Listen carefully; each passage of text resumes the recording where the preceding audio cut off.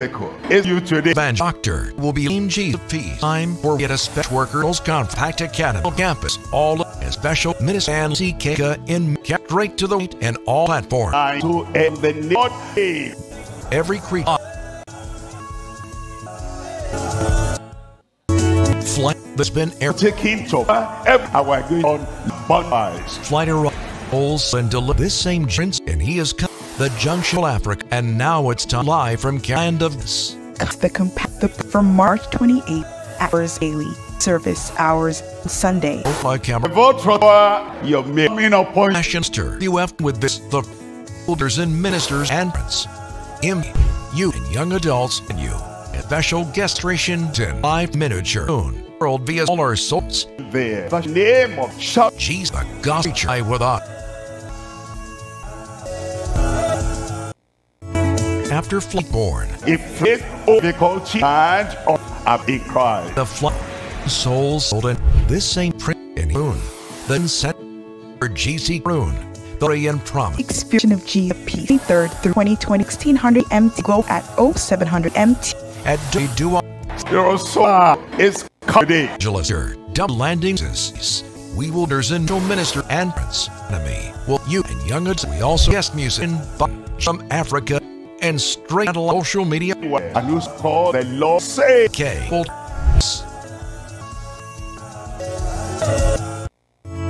After Flickane, Fly over the hand of a big cry. when the foe soul healed, this is the Maroon Weston's time for from Cameron of Glory. Com compassion from March 28 hours daily shift 700 hours on Sunday. Duala soul your main up. International be profession impact of yes we also bring music in by from nature and via souls every flaw.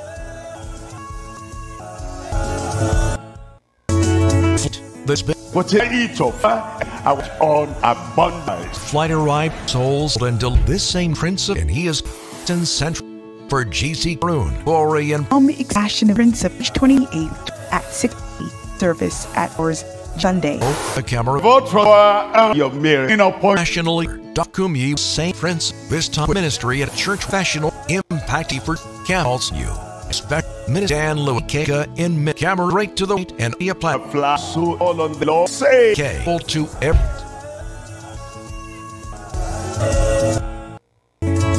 flight Fly oh, over the hand of a big cry. when the foe soul healed and this is the in moon Weston's time for from Cameron of glory Come compassion from March 23 hour daily shift 700 hour on at Dobo Zero soul is coming up. Inter past W ending with the we wonders and minister and profs enemy. Will you and the same? We also best musician and I from mature world via Santa Souls.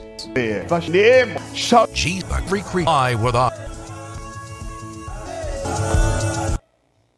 like the G air taking coffee every day we're going to London. I've been told we have a Jesus peace coming to Cameroon, Africa, and now he came live the Lord promise. Experience Jesus 23rd through 2016 G and go at OGA. The boon. Huh, a miracle. You today. Evangelister will be like Jesus peace. Time for a special workers contact academy. All of a special registration Louis law in miniature. The world via all our forms. You are the name. Every flight. Flight has been But take it off every hour on London. flight arrived. Will say deliver this same Jesus he is coming the junction of Africa and now a K law the land promise. Experience Jesus through March 23 100 MT will worship 700 MT on At do do Several soul you're coming. internet pastor W ending with the we wilders and ministers profs. Will you young same vessel bring music by Jim Africa and saddle social Yeah. I shall aim of shout Jesus God teacher with us. DC born if faith difficult to lie. been told we have saved. Jesus is coming to Junction of Africa. Now it's to live from Cameroon and Promise. Experience of Jesus Peace 3rd through 2016 GM and go at 07 GMT. At Radio Eurosera is coming. Illustrator W and Jesus. We wonder special minute and Prince Academy. You all of as we all guest ratio to line miniature the world be all form In the name. to every flaw.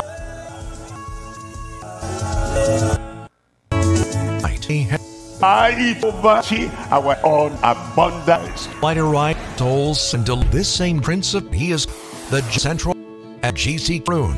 The in Home Experience of Jesus March 28th at 60 service at hours on Sunday. by Cameroon. Ultra your miracle upon Nationally, Dufkumi Saint Prince of Via Ministry at Church Fashion impacted for adult and you bring you DC Africa in great social media and you have called the Lord gospel.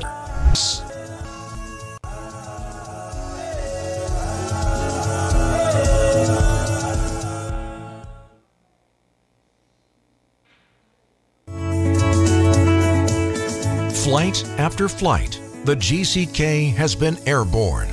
We're taking a flight of faith over every difficulty and we're going to land on life abundant in Christ. When the flight arrived in Togo, we have seen souls saved, healed, and delivered. This same Jesus is the Prince of Peace, and he is coming to Cameroon, the junction of West and Central Africa. And now it's time for GCK Live from Cameroon, the land of glory and promise. Come experience the compassion of Jesus, the Prince of Peace, from March 23rd through March 28th, 2023, at 1600 hours GMT daily, and global worship service at 0700 hours GMT on Sunday. At Dobo, Bonaberi, Douala, Cameroon. C'est votre temps. You reçois un miracle. Your miracle is coming upon you today. International evangelist, pastor, Dr. W.F. Kumuyi will be landing with this same Jesus, the Prince of Peace. This time, we will be equipped for wonders in ministry at a special ministers, church workers, and professionals conference. Impact Academy will be for children, youth, campus, and young adults all at the same venue, as we also bring you special guest music. Ministration by Dan Lewitton, GCK Live from Africa in miniature, Cameroon, and straight to the world via satellite and all our social media platforms. You are flying there. And whosoever shall call on the name of the Lord shall be saved. GCK, the gospel to every creature. Fly with us.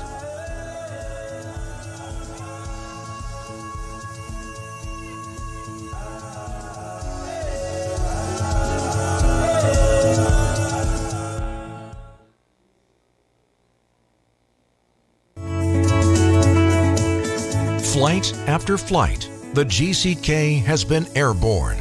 For taking a flight of faith over every difficulty and we're going to land on life abundant in Christ. When the flight arrived in Togo, we have seen souls saved, healed, and delivered. This same Jesus is the Prince of Peace, and he is coming to Cameroon, the junction of West and Central Africa. And now it's time for GCK Live from Cameroon, the land of glory and promise. Come experience the compassion of Jesus, the Prince of Peace, from March 23rd through March 28th, 2023, at 1600 hours GMT daily, and global worship service at 0700 hours GMT on Sunday. At Dobo, Bonaberi, Douala, Cameroon. C'est votre temps. You reçois un miracle. Your miracle is coming upon you today. International evangelist, pastor, Dr. W.F. Kumuyi will be landing with this same Jesus, the Prince of Peace. This time, we will be equipped for wonders in ministry at a special ministers, church workers, and professionals conference. Impact Academy will be for children, youth, campus, and young adults all at the same venue. As we also bring you special guest music, ministration by Dan Lewiton, GCK live from Africa in miniature, Cameroon, and straight to the world via satellite and all our social media.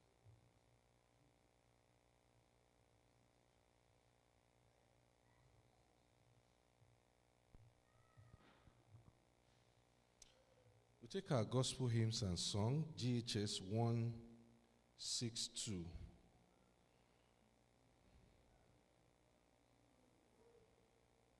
Please, if you have it, if you have the uh, booklet, we have it on your phone, please. GHS 162. Almost persuaded. Almost persuaded now to believe.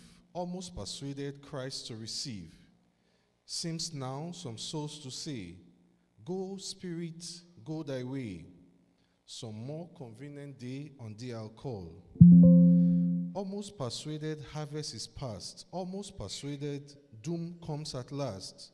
Almost cannot avail. Almost is but to fail. Sad, sad, that bitter wail, almost but lost.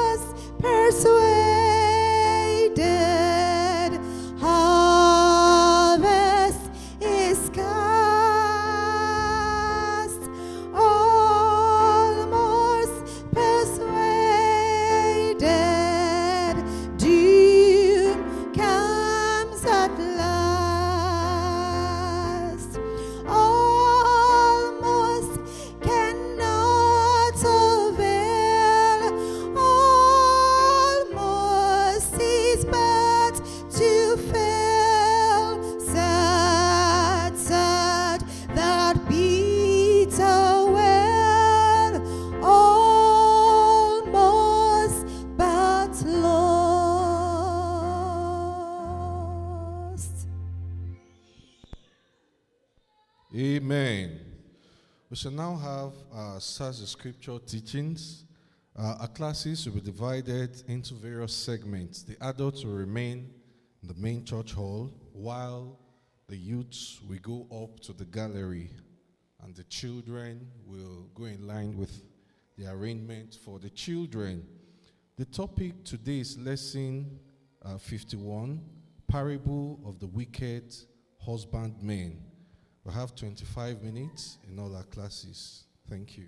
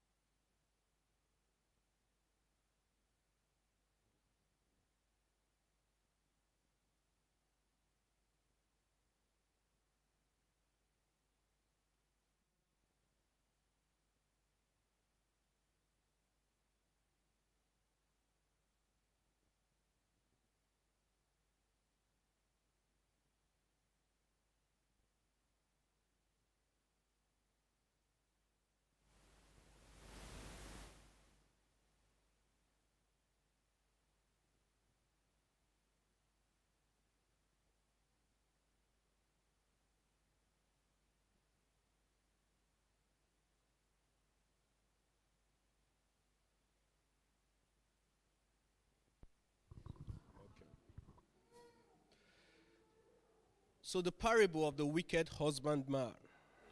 So, let's look at Matthew chapter 21, verse 28.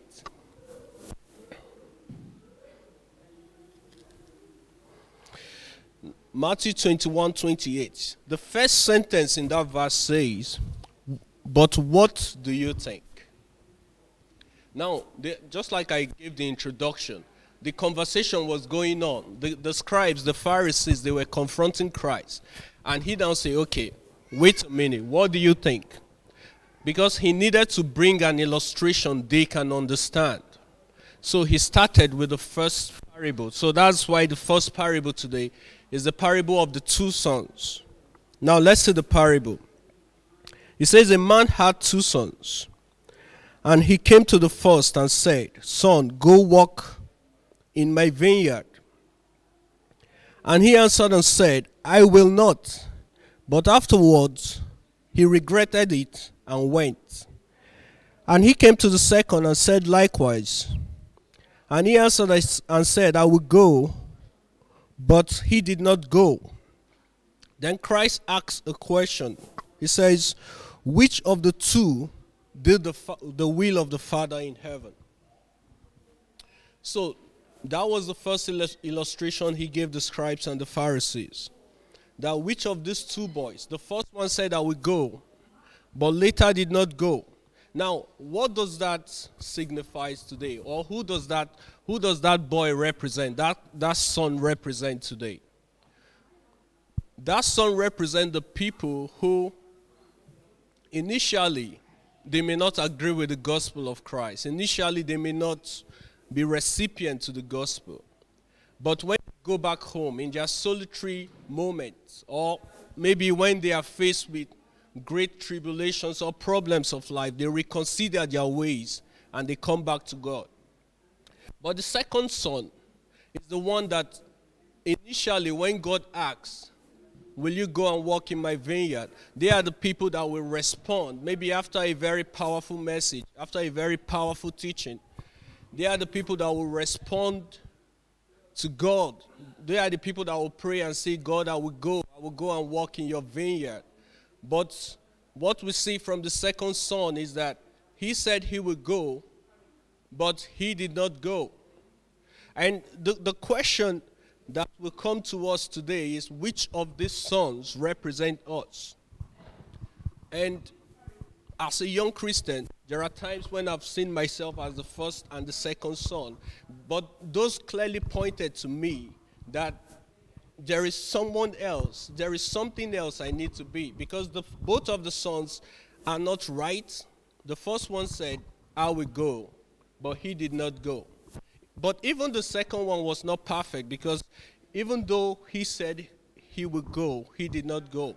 I'm sorry, even though he said he will not go, but that was not the kind of response that God expects from us when we hear his word. It's not a kind of response that we should even argue or debate. He expects us to respond to his invitation when he asks us to go. And I pray that the Lord will help us to respond to his word in Jesus' name. Now, what do we learn from here? We also learn from here that there are people who have made vows to God. Um, maybe before you came to the UK, you say, God, if only I can get to the UK, I will serve you. Or if only I can get a job, I will serve you. Or, or if only I can get to first class, or I pass my master's, my PhD, I will serve you. We are like the first son that gave God a promise, that made a vow to God, but did not go into the vineyard. And I pray that the Lord will help us today to go into his vineyard and do the work in Jesus' name. But the question is, what is even the vineyard? What does the vineyard represent? What does the vineyard represent today? The vineyard, we are going to see that more in, in point number two. But what the Lord is calling us to do today is calling us to go and preach the gospel in Aberdeen because this is our word. He's calling us to go and tell others about the gospel of Christ. And I pray that when the Lord calls us, we will not respond conditionally, but we will respond unconditionally in Jesus' name. Now, I'm going to ask a question here. Why do Jesus always speak with parables? Who can tell us? Why do Jesus, why, why does he always like to speak? This is not the first parable we are seeing him speak with. So, who can tell us why do we think he always likes speaking in parables to the scribes and Pharisees? Or even to, to the disciples, too, sometimes. So who can tell us? This this search the scripture. This is an interactive class. So who can tell us why someone is raising up? Okay, thank you.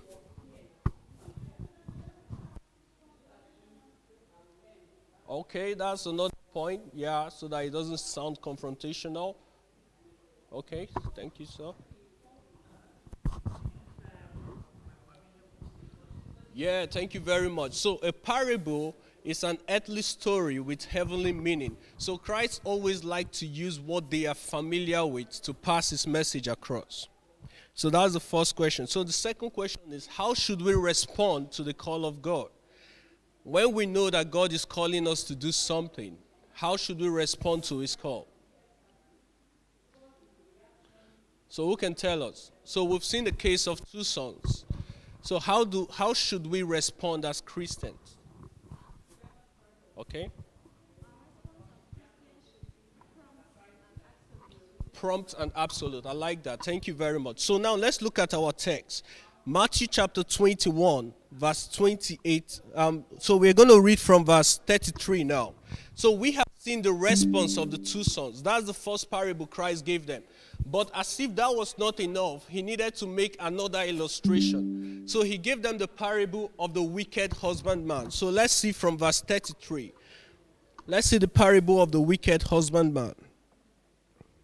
He says, Another parable there was a certain landowner. Now, in my version, it's called the landowner. In your version, it might be different. It might be the husbandman in your version.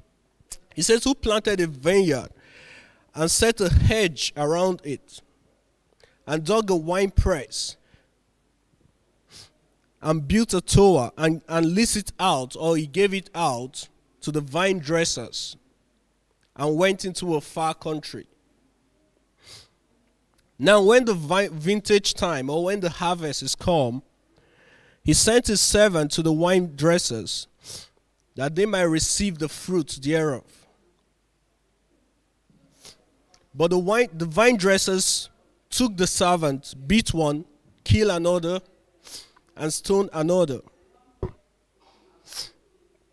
And not, again, he sent other servants more than the first, did likewise unto them. Then last he sent his son to them, saying, They will respect my son. But when the vine dressers saw the son, they said among themselves, This is the heir. Come, let us kill him and seize his inheritance. So they took him and cast him out of the vineyard and killed him. Therefore, when the owner of the vineyard came, what do you think he would do to the vine dressers? So that's the question God asked them from that parable. So it's still the question about he wants them to make a judgment. You see, Christ is not the one, he wants them to be able to come to the conclusion them, themselves about what is right or what is wrong. So he wants them to make a conclusion about what do they think the Lord of that vineyard will do to the husbandman. Now, what can we learn from this parable? From this parable, we can see, first of all, that the vineyard represents the children of Israel. So God made them a peculiar people. The hedge around the vineyard represent the law, the ordinances, the commandment of God that will keep them, that will guide them, that will instruct them every day. We see that the husband, the householder, that's the man that planted the vineyard and traveled to a far country, is God Himself. So God planted Israel. Now, this is the meaning of this parable. God planted Israel in the land of Canaan.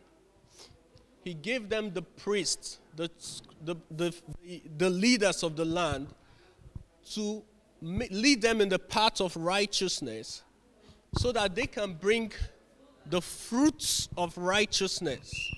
So, can you see the, the story Christ was trying to bring now. He's saying that he was talking to the Pharisees that the reason that you are in charge of the temple is so that you can lead the people to bring the fruits of righteousness, love, holiness, joy, prosperity, and everything that God has asked them to do. But you are not doing it. So as a result of that, God sent, God has been sending from in the Old Testament, that's what we see. He has been sending prophets. He has been sending different people to them, but they were killing the prophet. They were rejecting the prophet. So at last, God decided to send his own son to them. And Christ, at that point, was going to prophesy his own death. And he said that they would kill his son. But at that point, these scribes and Pharisees, they never knew that Christ was referring to them because the conversation was still going on. So, what, do, what can we learn from here as individuals? First of all, we see that the Pharisees, who were responsible, who were the responsible people at that time, in charge of God's ways, they did not lead the people right. They did not lead the people in the way of God. And that's one lesson that we, who are Christians, we are the light of the world. And we are here to lead the people to bring forth the fruits of righteousness in this nation. We also see that the prophets who God sent to them were persecuted. Some of them were even killed. And the same thing hap- is, is happening today with Christianity, especially in the UK. That people who want to stand for righteousness are being persecuted in this country that was once, you know, referred to as a Christian country. I'm sure you must have heard in the news this week of one of the ladies that is running for the post of first minister in Scotland because of her own personal opinion in marriage. Like she said, her own view of marriage that it should be between a man and a woman. And because of that, she had so many oppositions, so many criticism on social media and in the media generally, just because she said his our own personal view of marriage according to her faith. And she's been persecuted for standing for something that is true. And again, just to see the hypocrisy of the world, the same, the, the other people contesting, some of them are of other religions that are even more strict in terms of all these um, gay rights and all these things, but they never face the criticism because nobody will be bold enough to confront the people of other religions. But when it is Christianity, it's like the whole world is against Christianity. And I pray that the Lord will give us the courage to stand when we are persecuted in Jesus' name. So, let's move on. But you see that Christ was not afraid of these people because he wanted to make a point. But let's see another lesson we can learn from there. You see that these people, they believe they are the, the custodian, the, they are the ones that know the law. And even, even till today, you know, some people, you know, from Israel, not all, but some people still believe that they are the, they are the ones that know the truth. They are the ones that are the people of God, that every other person, they still see every other person as, as Gentiles, that you don't know the truth. But Christ was trying to make an illustration that because of the position you have taken, it is very difficult for you to recognize the truth when you see it. And it, it, it, it is pointing to our attitude as Christians. Sometimes, because of the position, because of the things we know, when we come into the presence of God, we are not too open to receive His word because of what we already think we know. That's one lesson we can learn from there. But Christ is saying that He is the truth, He is the way. And I pray that we will respond to Christ in the right way in Jesus' name. So finally, they rejected Christ. But he kept on doing the Father's work. They started plotting how to kill him. So let's see a question here.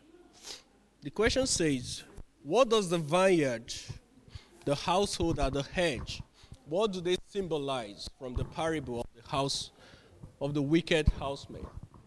Husbandman, sorry. What does the the vineyard the household, and the hedge, what do they represent in this parable?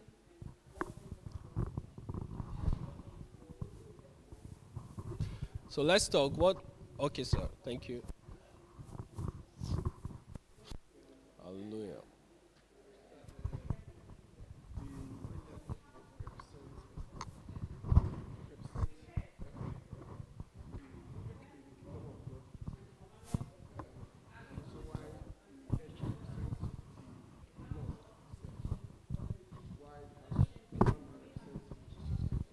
Thank sir. So let's let's let's move on to to the final point. The final point, we'll still make reference to this second point. Let's see Matthew chapter 21, verse 45 and 46. Now, as a result of this parable, there was a reaction. You know, for every action, there is always a reaction. Now, when Christ, when this people, when Christ was speaking, they now later realized that he was referring to them. He was not just speaking a parable about what has happened in the past, but he is actually referring to them. So, what did they do? Let's see Matthew 21, verse 45 and 46. Matthew 21.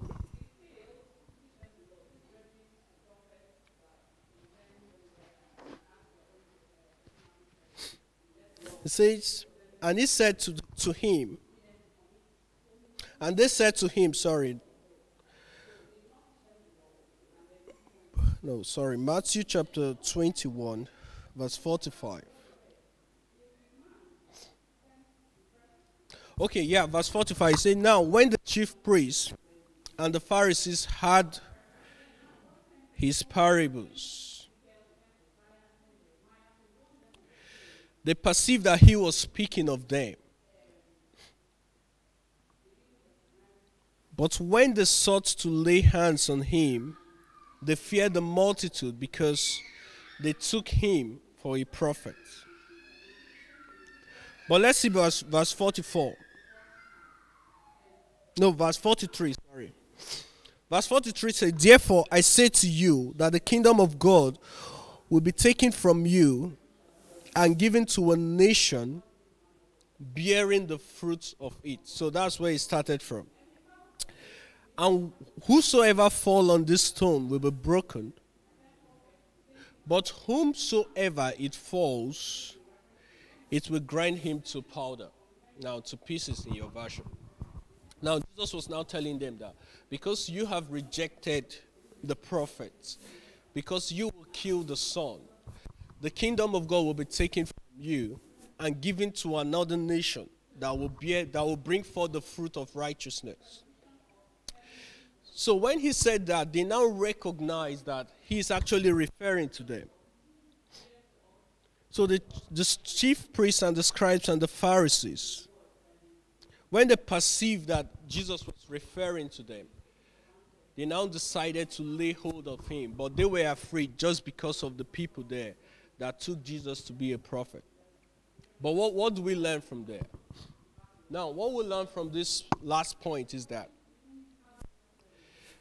when we receive the word, when we come to church, for instance, or maybe we read our Bible and it is very clear to us that what the preacher is saying to us is related to something going on in our lives. we should not be angry with the preacher because he is speaking what, about what the Lord is revealing to him at the time. Or he is speaking to your situation. If the world found you guilty, the best thing to do is just to repent. But these people, instead of acknowledging Christ, they wanted to kill him. And what's happening in our world today is a reflection of this verse. So when a Christian takes a particular position about marriage, they will try to attack you. They want to eliminate you. They want to, they call it cancel. They want to cancel you because you are not representing the view of the world. Attention, we should be praying in all the classes now.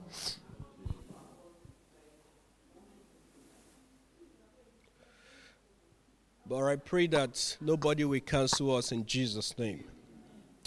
But just because we need to close now, there was a story of a young man, a young, a very young child, maybe about five or eight years old.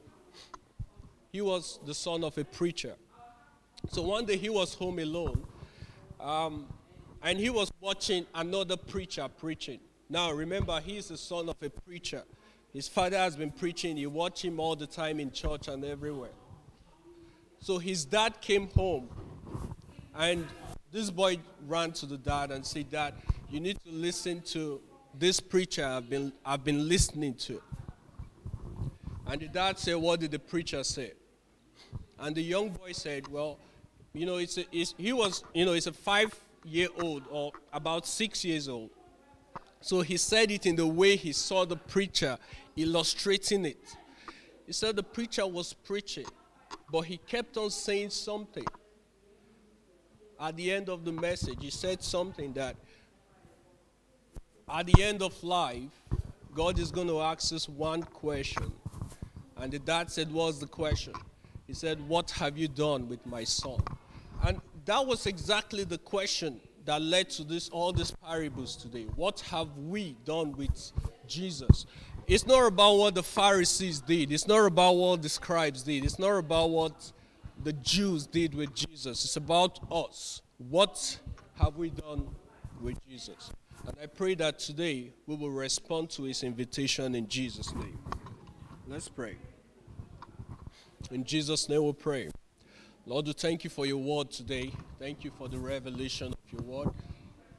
We pray that you help us, like the, like the son that responded to you, that wherever we are now, whether we are running from you, help us to respond to your call today in Jesus' name.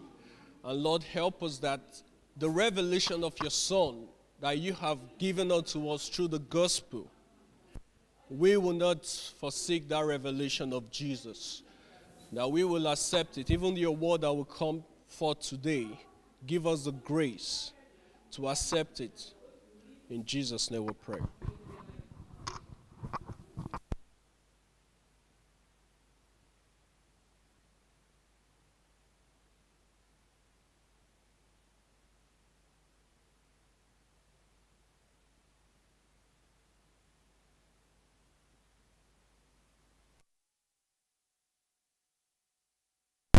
Come and lead the praise section. Thank you.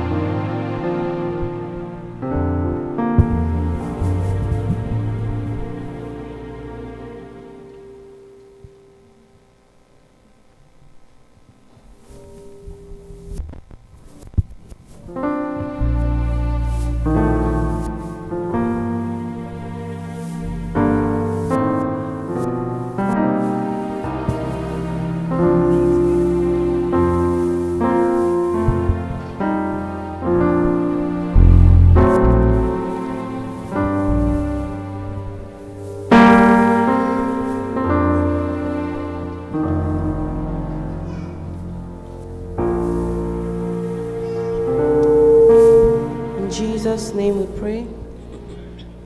Shall we be on our feet as we worship the Lord together?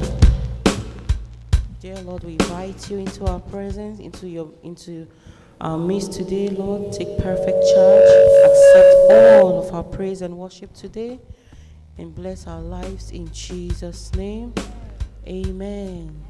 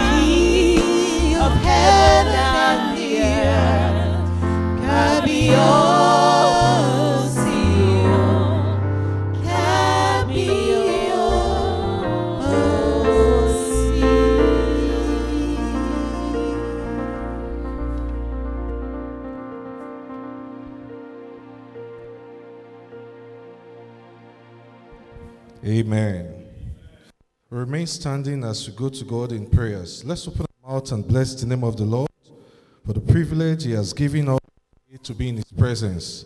Let's thank Him for the gift of life. Let's thank Him for breath in our nostrils. Open your mouth and pray. The Bible says, Bless the Lord at all times. His praise shall continually be in my lips.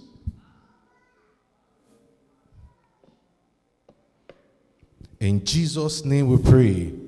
Brethren, we're in the presence of God. Let's feel free to pray. Bible says 21 verse 45. There failed not aught of all the good things which the Lord had spoken unto the house of Israel. Amen. All came to pass. Don't open your mouth and bless the name of the Lord for the fulfillment of his word in our lives, for the fulfillment of his word in our families, for the fulfillment of his word in the church. The Bible says everything came to pass. There was nothing whatsoever left. Open your mouth and bless the name of the Lord. Appreciate thank him. He's the giver of all good things. In Jesus' name we pray. It is now time for tithes and offering. Let's dip our hands into our bags and pockets and bring out our tithes and offering as we pray together now. Says, Upon the first day of the week, let every man lay by him store as God has put him, that there be no gathering when I come. Let's raise up our tithes and offering as we pray together now. Our Father, we thank you for the joy of salvation. We thank you because you first gave yourself unto us. And here we are today, lifting up our tithes and offering in appreciation of a goodness in our lives. Lord, we pray, accept it and bless us in abundance in Jesus' name. The Bible says you open the storehouse of heaven, the window of heaven, and pour out a blessing upon us that there be no room enough to contain it. I pray, Lord, that will be our portion even today in Jesus' name. We thank you because we know you have answered. In Jesus' mighty name we pray. Very quickly, let's uh, put our offerings in the offering bags as we remain in the mood of prayer. Let's thank God for how He has helped us through the month of January, the month of February. This is the last Sunday in the month of February. Perhaps you don't know. Let's open our mouth and bless the name of the Lord. Bless Him, bless Him, bless Him, bless Him, bless Him. In Jesus' name we pray. I want to pray and tell the Lord, Lord, as we progress into March, open doors unto me. Pray, pray and tell the Lord. Say, Father, throughout the month of March, I will be marvelously helped. My family will be marvelously helped. The church of God will be marvelously helped. Open your mouth and pray. Tell the Lord, say, I shall lack nothing good. No good thing shall be lacking in my life. No good thing shall be lacking in the church of God. No good thing shall be lacking in your family. Open your mouth and tell the Lord. It's a time to pray. Pray, pray and tell the it doesn't matter how January has been, it doesn't matter how February has been. The Lord says, I will do a new thing. Shall ye not know it? I will make a way in the wilderness and rivers in the desert. That time is coming. Why not pray and tell the Lord? As I step into the month of March, I march into the fulfillment of my breakthrough. Pray. In Jesus' name we pray. Our Father, we thank you because you are God all by yourself. We thank you because you are the God that answers prayers. The Bible says, Unto thee shall all flesh come. And that's why we are gathered here today. We pray, O God, you look upon us from heaven, your dwelling place, and you pour out a blessing upon us today in Jesus' name. Innu- Innumerable blessing, Lord, release upon our lives in Jesus' name. Lord, I pray this month of March we will be marvelously helped. We will not lack anything good in Jesus' name. Lord, I pray, fulfill your word in every heart, according to your word, O God, according to Joshua 21, verse 45. Lord, none of your word will fail in our lives in Jesus' name. We thank you because it is done already. In Jesus' mighty name we pray. Very quickly, let's have our seats.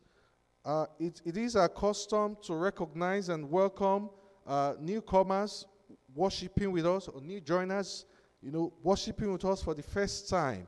If today is the first time of worshiping here at the Deeper Life Bible Church Aberdeen, kindly signify by raising up your hand so that we can bring to you our pastor's greetings. Today is the first time. Thank you very much. Brethren, what do we say? You're welcome in Jesus' name. Very quickly, Sister Amaka Stakelechi, please take a step, go and welcome her, bid her greetings on behalf of the church, on behalf of the pastor. You are welcome, my sister. The Lord bless you in Jesus' name. Uh, in case you don't know, that is the wife of our brother, Brother Augustine. If you can clap better, Amen. You see, sometimes last year, uh, November precisely, you know, we had a wedding in this church. He wedded. And by the grace of God, that is his beloved uh, wedded wife, you know, joining us for the first time. Praise the Lord. This year, you possess your possession. I don't know about you. I will possess my possession. And so shall it be for us in Jesus' name. At days of worship on Sundays like this, we gather here at um, 2 p.m. for uh, the Sunday devotional worship service. And on Tuesday, we gather online through our Zoom link for a period of um, expository and systematic study of God's Word. We joined the regional church in Glasgow to listen to our Father in the Lord, uh, Dr. W.F. Kumuyi. And on Wednesdays, we have uh, a time of prayer meeting every Wednesday by 6 p.m. Again, we have it on Zoom. Uh, many of us have not been in attendance. Please, we're encouraged by this as, uh, uh, announcement to join us at the next Wednesday prayer meeting. How many of us will join?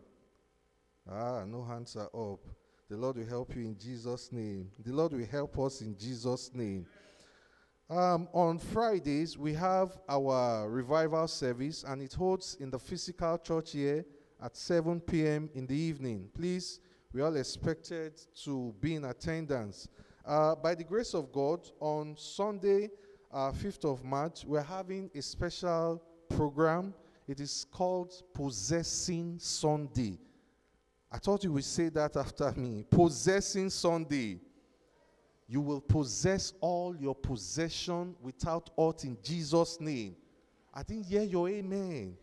The Bible says, pursue, overtake, recover how many? All. And so shall it be for us in Jesus' name. And on that Sunday, we are coming here fasting. We are observing prayer and fasting. It's a prayer and fasting Sunday. And then we are meeting here by 2 p.m. But your fasting should start ahead of time. And then we are not just to come ordinarily, we are to come with our prayer requests. Come with them, not a few. And then we are to invite others to also join us in this service. It's a Sunday service of miracles. And the Lord will turn here to a miracle center in Jesus' name. By the grace of God, we'll be having uh, our monthly evangelism service on Saturday, 11th of March. I hope we are taking note of all these things. It's called the dawn day. It's a new dawn. Say it's a new dawn. It's a new dawn. You know, the Bible says in the city of Ephesus, so mightily grew the word of God and did what? And prevailed. And so shall it be for us in the city of Aberdeen. And therefore, therefore, we shall be having our evangelism service. Please, I want us to come all out. 11th of March, Saturday, and the time is 12 noon. The venue will be announced to us in subsequent announcement. Also, we shall be having our regional workers confab, which holds on, the, on 18th of March, Saturday, 18th of March, and it holds via Zoom. Please, I encourage all our workers to take note of this announcement so that we don't miss it. Regional workers confab, uh, Saturday, 18th of March, and we are connecting via Zoom. Again, we'll be having our regional combined service at Glasgow. Put your hands together for Jesus. And by the grace of God, this time it will take place on Sunday, the 19th of March, 2023, at 10 a.m. So please, let's start preparing our schedules, our shifts, our rotas. Let's align it so that we can, you know, have ample time to prepare and be in attendance. And as you make it, the Lord will bless you in Jesus' name. Uh, the Lord has so much, you know, in store for us in the month of March. We'll be having a global crusade with Kumuyi. And that starts on Thursday, the 23rd of March, and the time is 5 p.m. till Tuesday, the 28th of March. And then this time around, the train is going to where? Who knows? Where is it going to? It's going to Douala, Cameroon. And um, by the grace of God, you will not miss your blessings also in Jesus' name. The details of the GCK crusade has been shared on the church WhatsApp group already. If you don't belong, if you are not on the WhatsApp group, please uh, see one of our ushers. He's going to get your details and add you uh, to the group. Uh, brethren, I want to also, by this announcement, encourage us to keep praying for one another. We understand how times are this time. So please, let's keep praying for one another. Let's keep encouraging one another. Let's keep calling one another. The Bible says, let brotherly love do what? Continue. And in our midst, it will continue in Jesus' name. And then, lastly, before uh, we read the Bible, um, for those that are wanting to see the pastor after service for prayer and counseling, the pastor is fully available today. Uh, please, immediately after service, make your way down to the right, the seat by the right, and be given the privilege to uh, see a pastor. Also, the women's prayer meeting holds tomorrow by 9 p.m. Tomorrow, the 27th of February, and the venue is Zoom. Please, we encourage uh, also to be in attendance. All our women, all our women. The Bible reading today is taken from the book of Romans, chapter 1. Romans, chapter 1.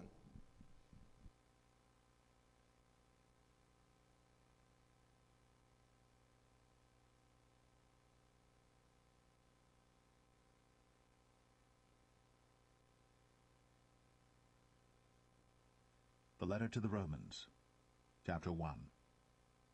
Paul, a servant of Jesus Christ, called to be an apostle, separated unto the gospel of God, which he had promised afore by his prophets in the Holy Scriptures, concerning his Son Jesus Christ our Lord, which was made of the seed of David according to the flesh, and declared to be the Son of God with power, according to the Spirit of holiness, by the resurrection from the dead by whom we have received grace and apostleship, for obedience to the faith among all nations for his name, among whom are ye also the called of Jesus Christ.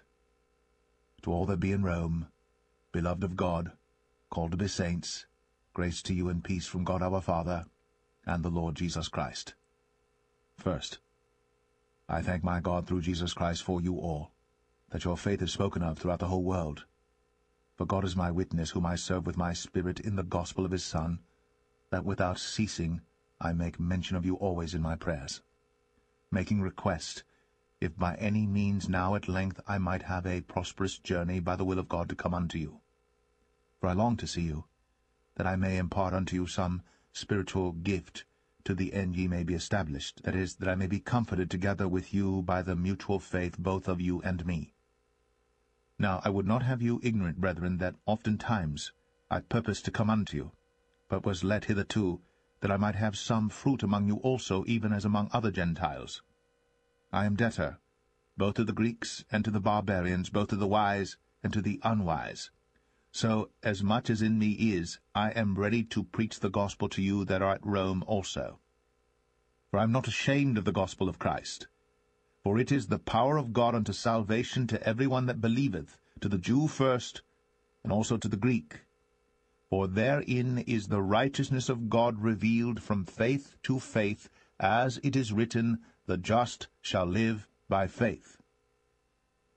For the wrath of God is revealed from heaven against all ungodliness and unrighteousness of men who hold the truth in unrighteousness, because that which may be known of God is manifest in them, for God hath shown it unto them.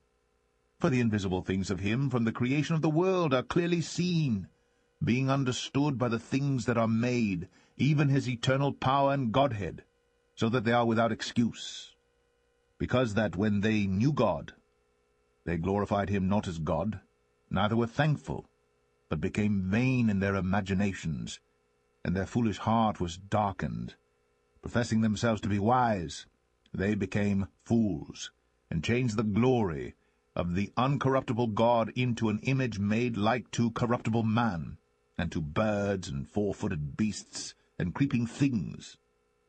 Wherefore God also gave them up to uncleanness through the lusts of their own hearts, to dishonor their own bodies between themselves, who changed the truth of God into a lie, and worshipped and served the creature more than the Creator, who is blessed for ever. Amen for this cause. God gave them up unto vile affections, for even their women did change the natural use into that which is against nature, and likewise also the men, leaving the natural use of the woman, burned in their lust one toward another, men with men working that which is unseemly, and receiving in themselves that recompense of their error which was meet.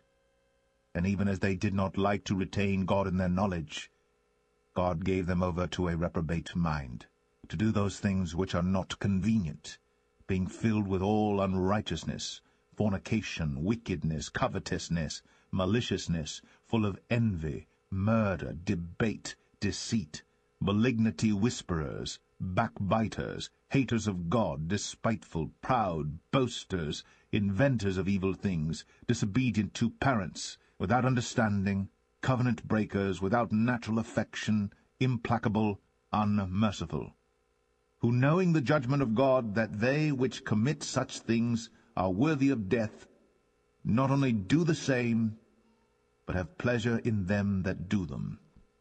May the Lord help us to be hearers and doers of His word in Jesus' name.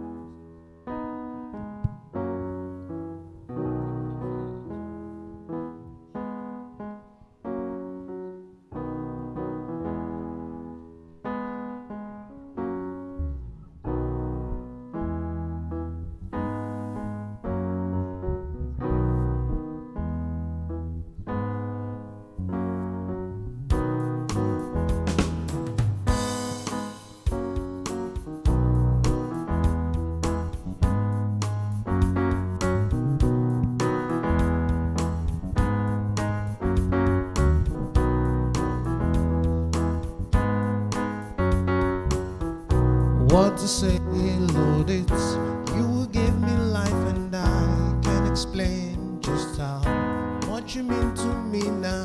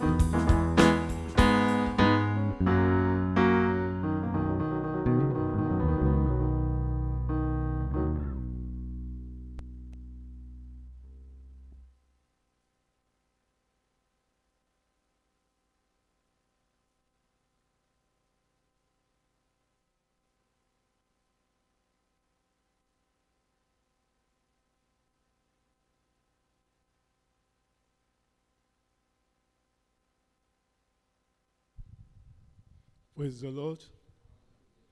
Praise the Lord. Every day we will live for the Lord. And we will experience the power of the Lord in Jesus' name. We've come to the climax of our Sunday worship service for today. And um, today being the last Sunday of the month as well, we have the privilege of listening to our Father in the Lord ministering to us. But before he comes up to minister, I just want to emphasize the announcement that was passed on before that next week Sunday is going to be a special Sunday in our church here. I thought somebody will clap for Jesus. You know, this year, we've taken this year possessing our words, my possession. And that's why the Lord is leading us into this session. In fact, when the Lord gave me to me, I was wondering, I said, God, how are we going to do this? Just just tell them. Every first Sunday of the month throughout this year is going to be the Sunday of possession. And I thought, and you want to make that Sunday anything in your life, all what you are looking for for this year and all throughout your life, bring them every Sunday, that first Sunday of the, of the, of the month, all throughout this year. God helping us. That Sundays, these Sundays is going to be a Sunday of the supernatural. It's going to be, in fact, the Lord says it's going to be Sundays of abundance, of miracles, of you possessing your possession. So that when we come to the last month of December, you will look back and say, There is nothing left that you've not possessed. You will possess them. So we are starting this coming Sunday. I will be there. I will be here. 2 p.m. Make sure you are here. And make sure you invite others as well. Because God is going to move mightily in our midst. And great things the Lord is going to do for us in Jesus' name. But then, today, we are going to have a foretaste of what God is going to do. And we're going to have our Father in the Lord ministering to us. And our children, we just quickly go to their children um, um, all now, so that they also we have the time of, you know, of having fellowship. And as we worship the Lord, as we come to this session, prepare your heart, prepare yourself, and great things God will do for you in Jesus' name. Let uh, some of our leaders help our children to just quickly move while we prepare ourselves for the message. Shall we all just rise up now? And those of you at the back, you know, let's come to the front. Let's come to the front. Come to the front before we pray. Just come forward. Come forward. Come close to pastor. Come close to pastor. Come forward. Don't sit at the back. If you don't have nursing babies that you are nursing, come to the front. Make sure there is no vacant seat in your front. Thank you. God bless you. Let us pray. Let's prepare ourselves. Let's tell the Lord. Oh, our new couple, our special couple, come, come, come. There is come and occupy pastor seats. Come, come, come, sister. Brother Augustine, come to the front, come to that place there. Let's clap for them now. Let's clap for them. After the service today, we are going to pray for them. Amen. And we are trusting God. God will do. You know, there are special, there are, there are special guests for today. So uh, just occupy that. Let us pray now. Let's just prepare ourselves and tell the Lord that as the word of God comes to us now, that the Lord Himself will bless you, the Lord will minister His word to you.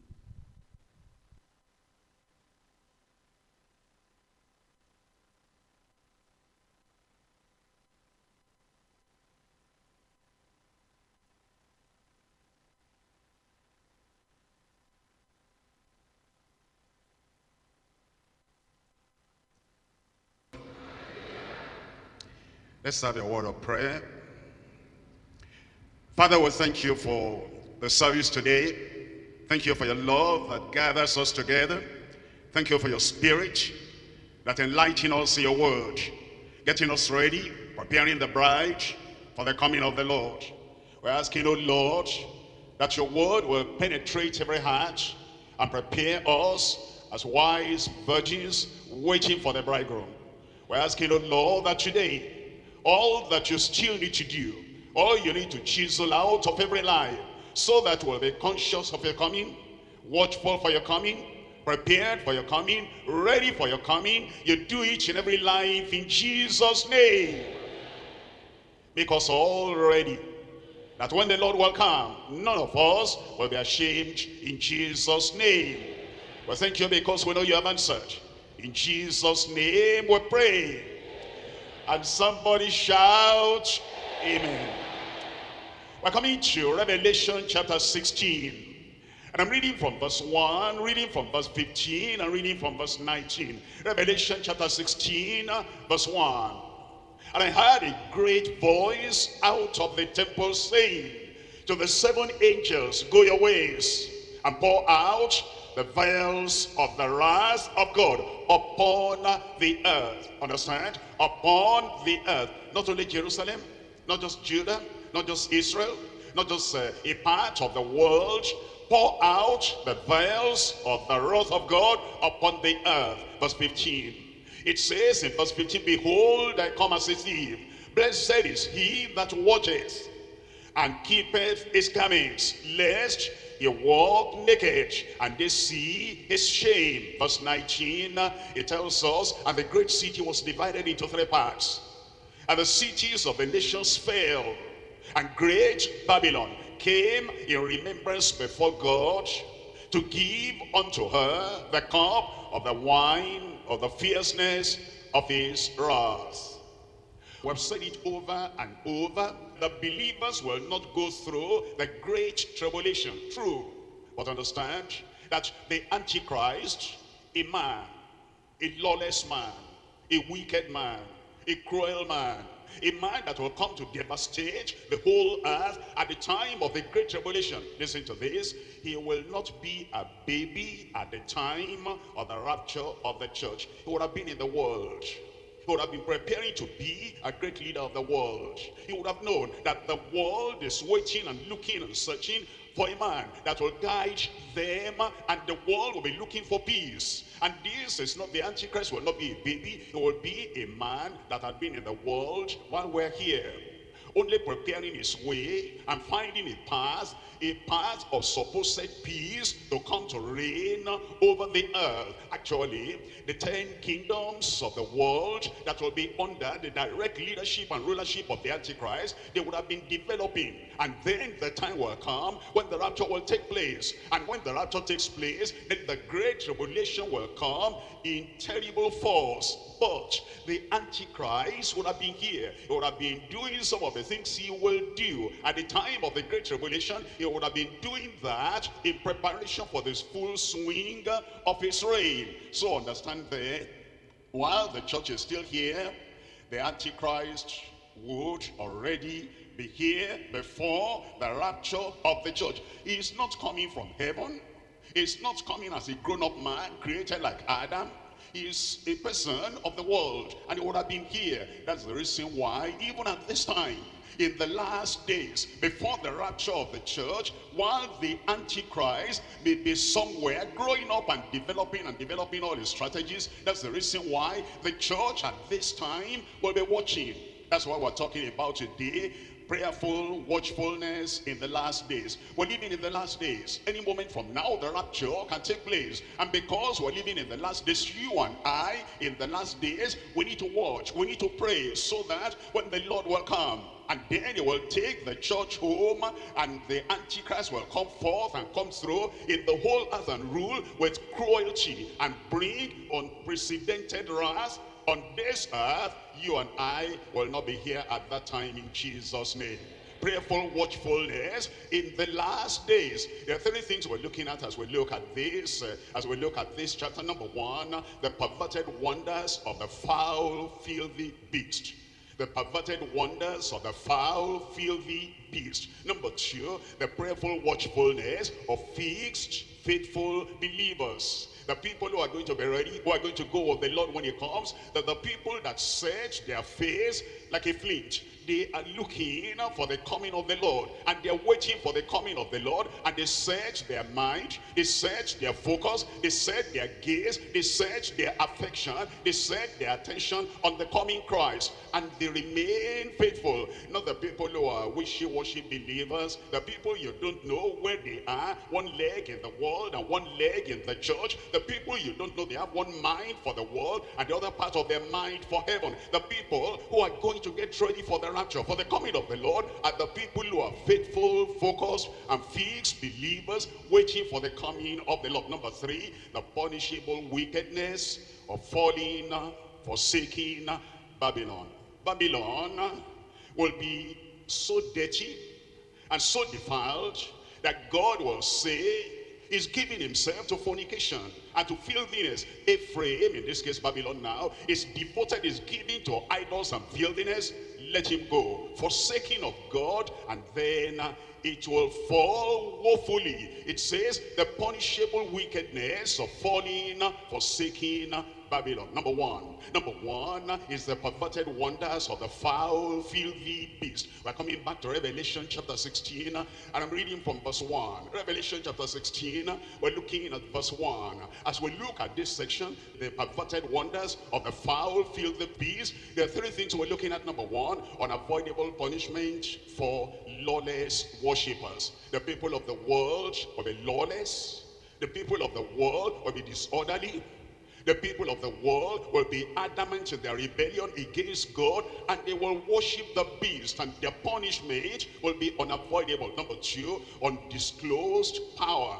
Of lying wonders. There'll be lying wonders, deceptive miracles that the beast will perform, the false prophet will perform, but the world will not know about the source of those wonder signs and miracles undisclosed to them. And because of that, they will fall for the power of the Antichrist. Number three, unendurable plagues, something man cannot endure, unbearable, unendurable plagues for lustful wanderers. There'll be people that we're wondering about. They'll wander from this assembly to that assembly. There will still be church echoes. At the time when the Great Revelation begins, there will still be a kind of worship. You see, when the true church is gone, the militant church, the triumphant church, when that church is gone, the nominal church will still be on earth. And that nominal church will still be carrying on religion as usual. And then those who are wondering about because of the plagues, because of the pain, and because of the terrible things happening in the world, they wander from here to here, but they aren't going to find anything at all that will bring any ease for them. But they will have unendurable plagues because they are lustful wonders. Let's come to Revelation chapter 16. I'm reading from verse 1. Look at verse 1. It says, I heard a great voice out of the temple saying to the seven angels, Seven angels, go your ways and pour out the vials of the wrath of God upon the earth. All the seven angels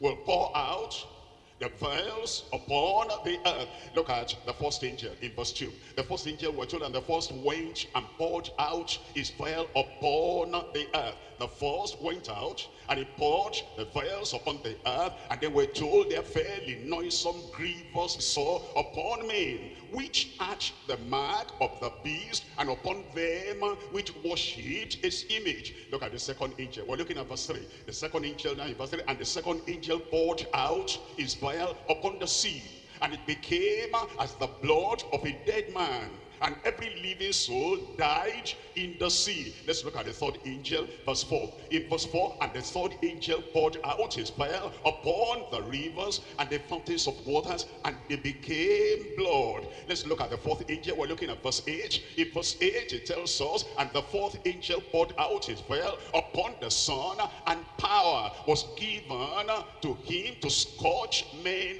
with fire. Let's look at the fifth angel. This in verse 10. In verse 10, and the fifth angel poured out his fire upon the siege of the beast. That's upon the throne of the beast, in the palace of the beast. And his kingdom was full of darkness, and did not their tongues for pain. Let's look at the sixth angel now in verse 12. In verse 12 it tells us, and the sixth angel poured out his vials upon the great river Euphrates, and the water thereof was dried up, that the way of the kings of the east might be prepared. Verse 17, the seventh angel and the seventh angel poured out his vial upon the air, and there came a great voice out of the temple of heaven from the throne of a saying, it is done. It is done, it's complete, it's fulfilled. It's poured out upon the earth. All those seven angels at the time of the great tribulation, they will pour out the wrath of God upon the earth. Understand? Upon the earth. No country will escape the wrath and the indignation and the fury and the anger and the judgment that comes at the time of the great tribulation. That's the reason why if anyone is going to get ready and escape the coming indignation, the coming wrath, it is now. I pray you will not be here. Number one, in this area is the unavoidable punishment for lawless worshippers. Look at verse 2 again. In verse 2 it tells us, and the first went out and poured out his vial upon the earth, and there fell a noisome and grievous sore upon the men which had the mark of the beast. Look at this. And upon them which worshipped his image, which worshipped his picture, which worshipped his statue, which worshipped the representation of the beast. Look at Isaiah chapter 13, we're reading from verse 9. Isaiah chapter 13, reading from verse 9, Behold, the day of the Lord cometh, cruel, both with wrath and fierce anger, to lay the land desolate, and he shall destroy the sinners thereof out of it. It's a time of wrath, a time of judgment upon the sinners on earth. Look at verse 11. In verse 11, it tells us, and I will punish the world for their evil Some people say the time of the Great Tribulation will be a limited time, a limited pouring out of the wrath of God upon a limited section of the earth. Not so, not so. Look at that verse 11. I will punish the world for their evil. Anywhere in the world there is evil, and there's evil everywhere. There's evil everywhere. All have sinned and come short of the glory of God. All are still sinning, and they're coming short of the glory of God. All the earth, all the world, and the wicked for their iniquity. And I will cause the arrogancy of the proud to cease, and will lay low the haughtiness of the terrible. In verse 13, it tells us, it says, And I, therefore I will shake the heavens and the earth. I will shake the heavens and the earth. Don't think there's any, any place to go and hide. Any place will be, there'll be a refuge at that time begin from the wrath of God. It will be upon all the earth, and the earth shall remove out of her place. And in the wrath of the Lord of hosts, and in the day of his fierce anger, there'll be anger at that time. Revelation chapter 11, reading from verse 18. In Revelation chapter 11, reading from verse 18, and the nations were angry, and thy wrath has come and the time of the dead, that they should be judged, and that thou shouldest give reward unto thy servants, the prophets, and to the saints, and them that fear thy name, small and great. Look at this, and shouldest destroy them that destroy the earth. That's one of the purposes of the wrath of God at the time of the great tribulation to destroy. To destroy them that destroyed the earth. There'll be unavoidable punishment of lawless worshippers. Look at number two here. Number two is the undisclosed power of lying wonders. In Revelation chapter 16, we're reading from verse 13. At that time, people, and the devil, when the devil does something that looks miraculous and that looks like wonderful, it is to seal their destiny, the destiny of the people of the world, so they will never listen to the truth. Look at this, Revelation chapter 16, uh, verse 13. And I saw three unclean spirits like frogs come out of the mouths of the dragon, number one, out of the mouths of the beast, number two, and out of the mouth of the false prophet, number three. Those spirits like filthy, dirty, loathsome frogs. What will they be doing at that time? Look at verse 14. In verse 14, for they are the spirits of devils. They are the spirits of devils working miracles. You know, there are people that don't have any discernment at all. And because the, the undisclosed power of Satan is walking there and walking there, they're saying, well, miracle is miracle. Wonders are wonders. And I don't want to die like this and perish like this. Look at the problem I have. And they've been praying. You know, the kind of prayer they're praying is not soulish prayer. It's not spiritual prayer. It's not fervent prayer. It's not something that cuts deep into their heart. It's a superficial prayer that lies on the surface of the sea of their problem. And because of their superficial prayer not being answered, they say hear miracle is over there. Miracle is over there. What's the source of the miracle? And what's the foundation of that miracle? And what's the channel of that miracle? They will not find out. But it says in this verse 14, but they are the spirits of devils working miracles which go forth unto the kings of the earth of the earth. Every time it mentions the events and the devastations and the deceptions in this, uh, in this period of tribulation time, it says of the earth and of the whole world to gather them to battle of that great day of God Almighty. Now, the miracles of Christ will not point anybody to fight God. The miracles of Christ will not call anybody to fight sound doctrine. The miracle that Christ performs will make people to believe and to surrender and to give their lives to the Lord and to worship the true God and to turn away from the dead idols. But the miracles of the devil, the miracles of the false, uh, of the false personalities, of the evil spirit is to gather the people together, seal their mind, harden their heart to fight against the day of God Almighty. Jesus already warned us that in the last days when it's about to come, that the spirit of the Antichrist will already be at work and there will be all those false, deceptive, pseudo miracles, signs and wonders. In Matthew chapter 24, reading from verse 24. Matthew chapter 24, reading from verse 24. Here is the prediction, the prophecy of the Lord Jesus Christ. For there shall arise false Christs and false prophets and shall show great signs. Jesus said they will show great signs and wonders. In so much that if it were possible, they shall deceive the very elect. The miracles that deceive the heart, the miracles that distract the heart, the miracles that turn away the heart from the Almighty God and from salvation, that's not of God. The miracle that turns away the heart from holiness and righteousness and from salvation from the Savior, that's not of God. That if it were possible, they shall deceive the very elect. In verse 25, Jesus said, Behold, I have told you before. I pray you'll not be deceived.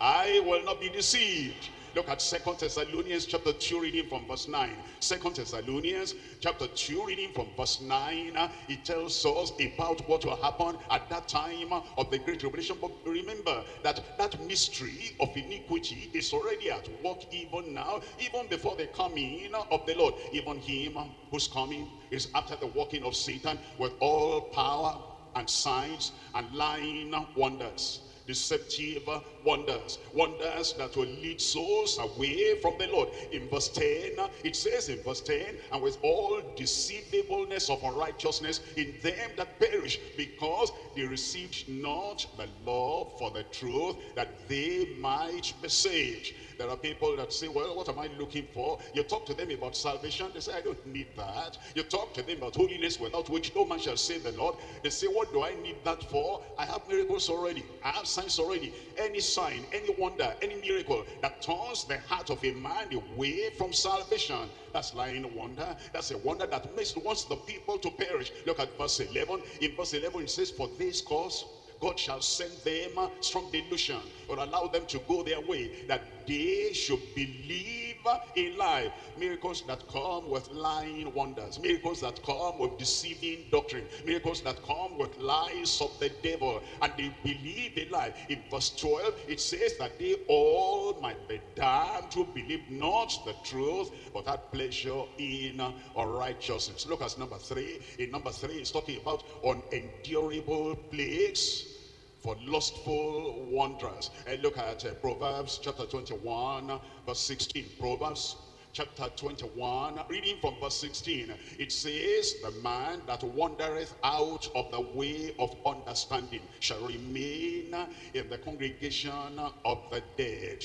The man that wanders out of the way of understanding, he goes away from where salvation is preached, where the gospel is declared, where the good news of Christ of Calvary is made plain. He goes out, he's wandering about, and now he is in the congregation of the dead, that the sound of the gospel cannot penetrate the ears anymore. And the light of the gospel cannot be bright before him anymore. And the sound doctrine that prepares us for the coming of the Lord is not relevant to him anymore. He faces the danger of perishing and he's going to have an unendurable plagues. Look at uh, 1 Timothy chapter 5, uh, I'm reading from verse 12. 1 Timothy chapter 5, uh, reading from verse 12. Having damnation because they have cast off their first faith. There are people who believed in God in the past, but because now they're looking for miracle, they're searching for miracle, they, they don't know that the miracle is coming from Christ, and so they go to false Christs, they go to false uh, uh, places of worship, and they go to the Antichrist. They say Christ has not given them miracle. Antichrist, do have any miracle for me? And the Antichrist say, well, if you allow me to harden your heart, if you allow me to seal your doom, if you allow me to put you in doom and damnation forever and ever, I can hand you whatever miracle for now, for a few days to enjoy that, and then for all eternity, there'll be indignation and wrath and punishment and plague for those people who are deceived. It says having damnation because they have cast off their false faith. Look at verse 13. In verse 13, and withal they learn to be idle, wandering about, wandering about from house to house, from congregation to congregation, wandering about from assembly to assembly, and not only idle, but tattlers also, and busy bodies speaking things they ought not. I pray it will not happen to you. Okay, I'll say it for myself. It will not happen to me. In Jesus' name.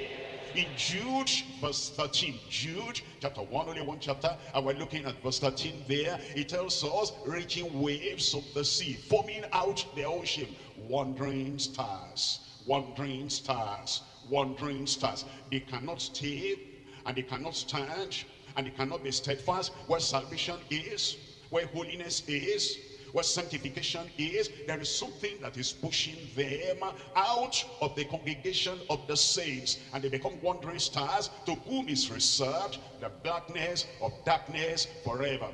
I pray that will not be you in Jesus' name.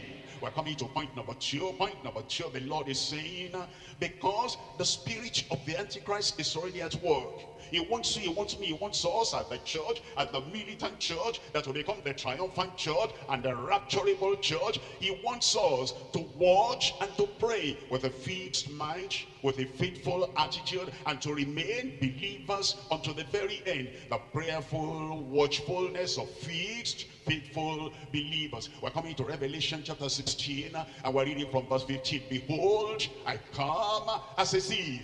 If you judge Christ to be truthful, if you know Christ to be truth personified, whatever else you hear from any other person, you know that Christ has spoken the truth. He said, I come. He is coming. And then he said, I will come suddenly. While the ten virgins are asleep, then the bridegroom will come. The Redeemer will come. The King of kings, the Lord of lords will come. It says, Behold, I come as a thief. Suddenly he will come.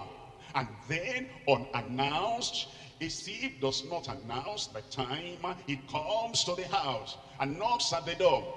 I am here. I announced to you before. I sent information I was coming. I am here. Get ready for me now. I want to steal what is precious. They know the thieves don't do that. It says, I come unannounced. I come suddenly.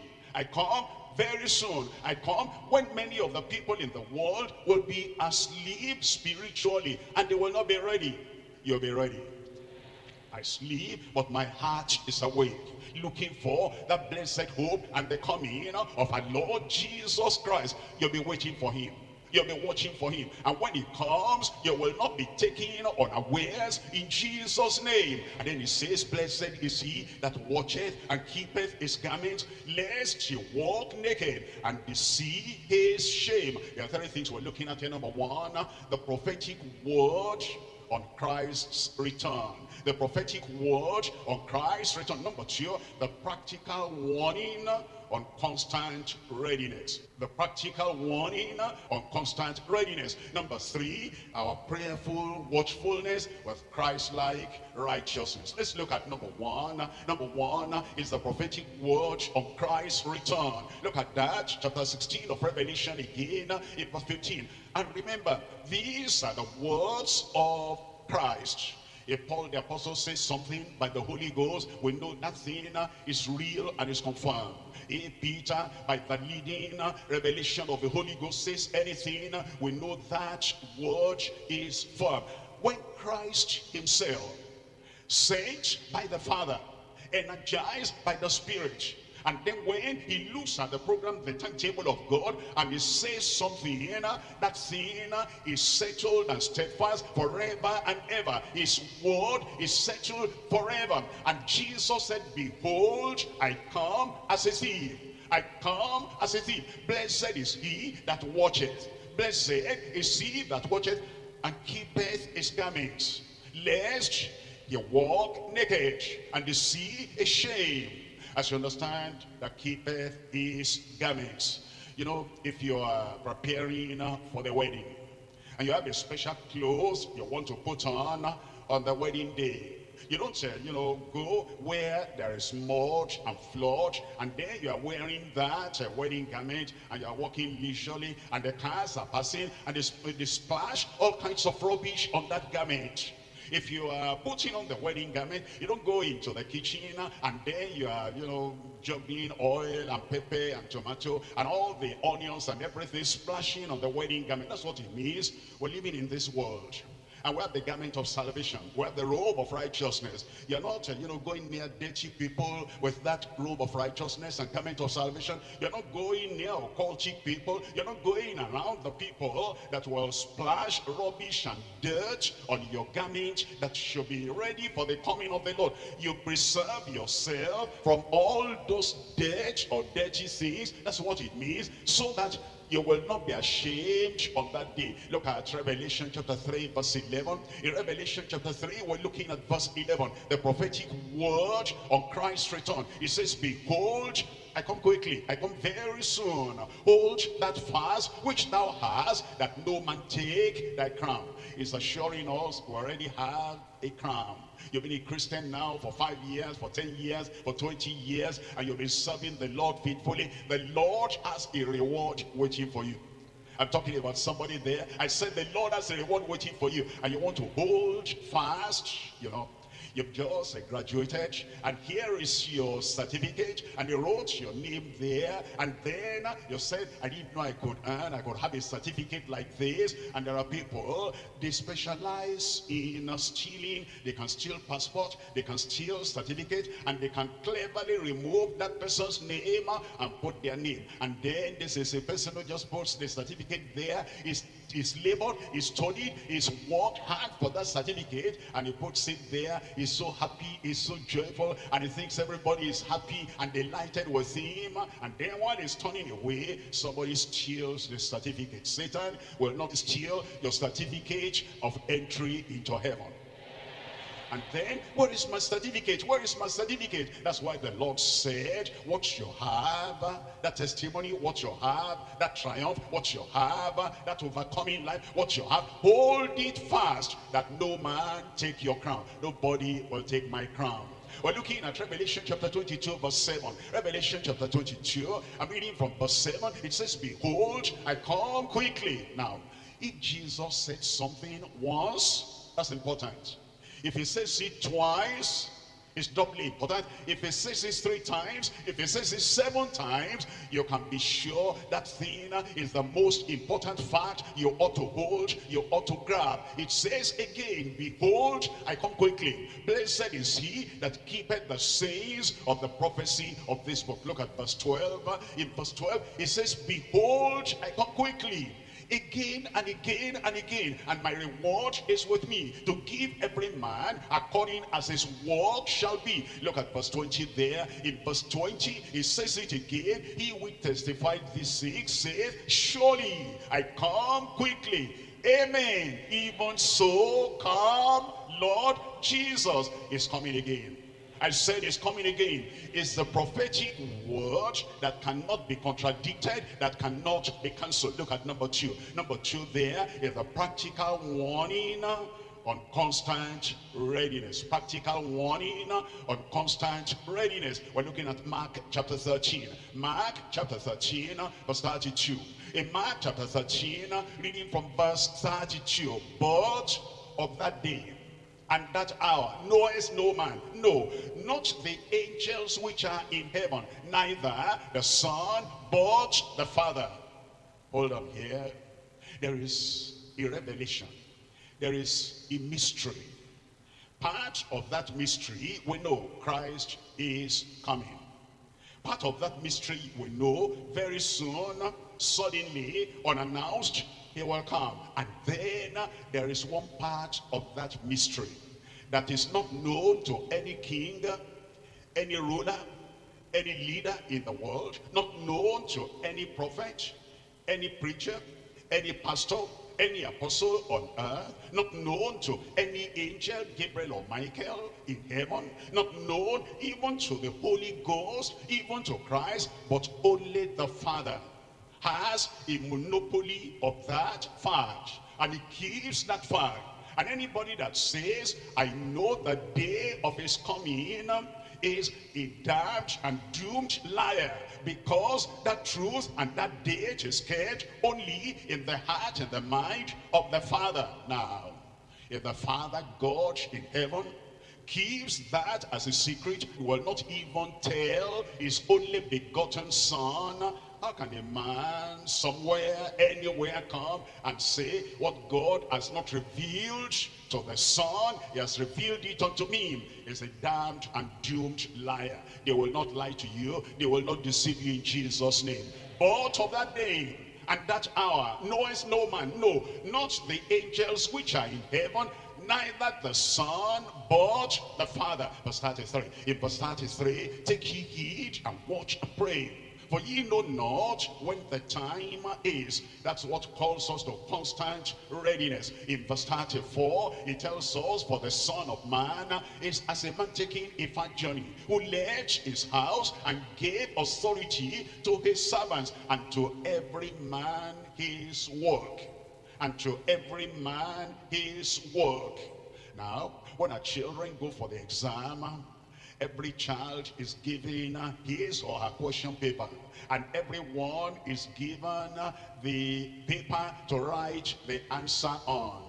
And if that child, instead of writing on his own paper with his own name, will take the paper that belongs to another person and being generous and being nice, let me write it for you. And then he writes for this other student. And by the time they're collecting the papers, his own paper is empty. It has nothing. He has not written anything on his uh, own paper, but he's busy writing on the paper of another. And they collect, well, his paper has zero input and the paper is going to score zero. He may be intelligent, he may be energetic, she may be a kind of generous whatever, but there is zero entry into his paper and it's going to have zero. What am I saying?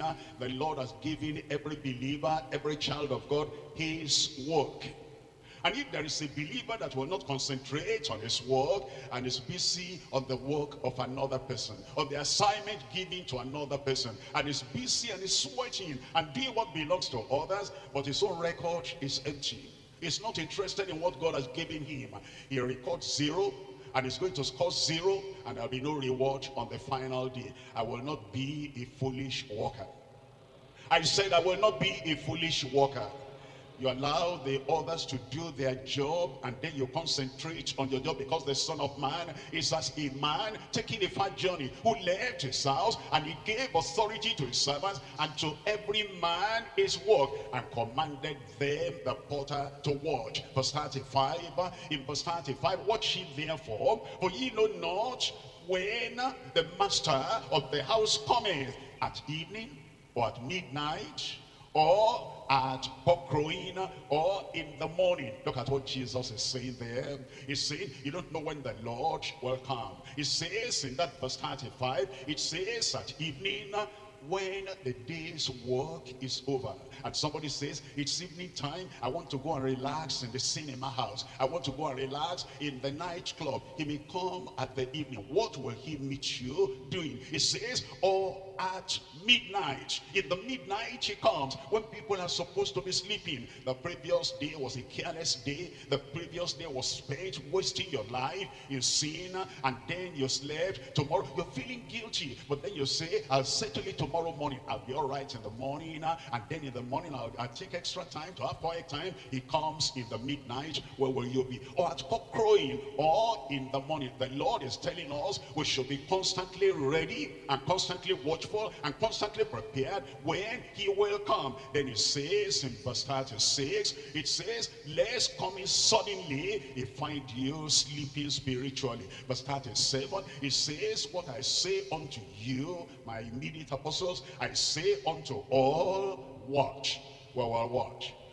You will watch so that that day will not come upon you unawares. In Jesus name we're coming to Luke chapter 21 reading from verse 36 it tells us watch ye therefore and pray always. Watch ye therefore and pray always. What does that mean? Temptation comes. Don't talk. Watch. Pray. Trial comes. Something pinches you something irritates you. Something wants to wake up the dead beast and the dead lifestyle in you to get angry and then to make your feast and then to fight. Don't do that. Watch and pray. At every time when the tendency and the breeze of the world may come upon you to react like the people of the world and to get ready to fight it out and to forget about your Lord's coming watch and pray always. Sometimes when you're happy you misbehave. Sometimes when you're happy when some people are happy they go to drink. They're excited. And because of the excitement they forget themselves. At that time when good things happen uh, and you have the tendency of becoming careless and speaking flippantly because you're happy Watch ye therefore, and pray always that she will be accounted worthy to escape all these things that shall come to pass and to stand before the Son of Man. You will be ready. Say, I will be ready. Number three now. Number three is our prayerful watchfulness with Christ-like righteousness with Christ-like righteousness. It tells us in First John chapter 2 verse 28. First John chapter 2 we're reading from verse uh, 20. We're reading from verse 28. It says, and now little children and now young believers and now standing believers who are much younger than John the beloved abide in him. Abide in his word. Abide in your conviction. Abide in the work of grace that the Lord has effected in your life. And now little children, believers, beloved believers, abide in holiness and righteousness, that when he shall appear, we may have confidence and not be ashamed at his coming. There are people who will be ashamed when he comes. They'll be ashamed because they're not ready.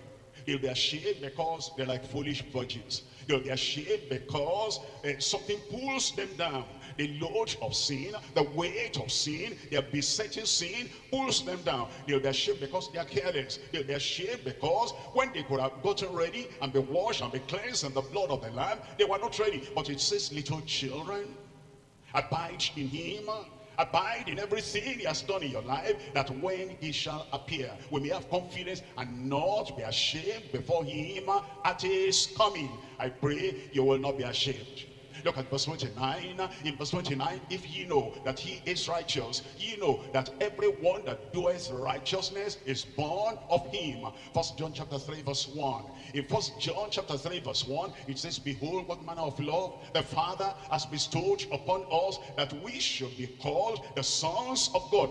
Therefore the world knoweth us not, because it knew him not. In verse 2, it says, Now, beloved, now are we the sons of God, and it does not yet appear what we shall be, but we know that when he shall appear, we shall be like him. For we shall see him as he is. That will happen to you. You will see him. The church will not go and leave you behind. You will see him in Jesus' name. And then in verse 3, it says in verse 3, and every man every woman, every person, every creature, every child of God that has this hope in him purifies himself even as he is pure. Look at verse 7 there. In verse 7, little children, let no man deceive you. He that doeth righteousness is righteous, even as he is righteous. The people who are waiting and expecting to be ready when Christ will come, they're the people who are righteous, even as he is righteous. They have Christ-like righteousness. It tells us in Titus chapter 2, Titus chapter 2, and I'm reading from verse 12. It says, teaching us that the grace that appears to all men, teaching us that denying ungodliness and worldly lust, worldly lust will try, will want to sneak back into your life, you deny it. You debar it. You stop it. You resist it. Teaching us that denying ungodliness and worldly lust, we should live soberly, righteously, and godly in this present world. Verse 13, looking for that blessed hope and the glorious appearing of the great God and our Savior Jesus Christ. In verse 14, we're told, who gave himself for us that he might redeem us from all iniquity and purify unto himself a peculiar people, zealous of good works. You'll be ready. I will be ready the righteousness of Christ will see the full in your heart when Christ comes in Jesus' name.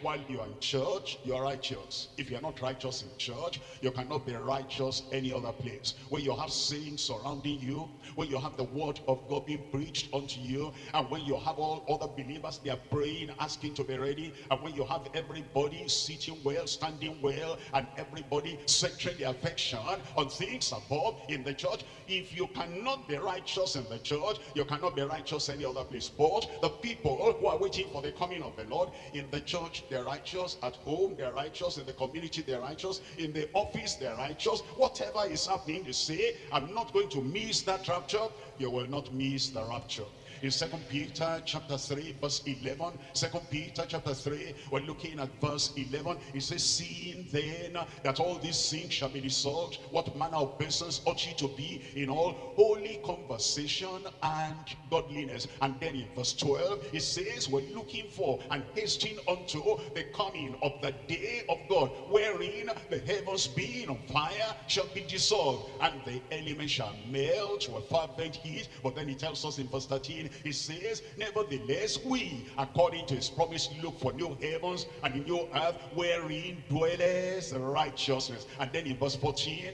it says, Wherefore, beloved, seeing that she look for such things, be diligent, that she may be found of him in peace, without spot and blameless. I pray when that day comes, you'll be ready.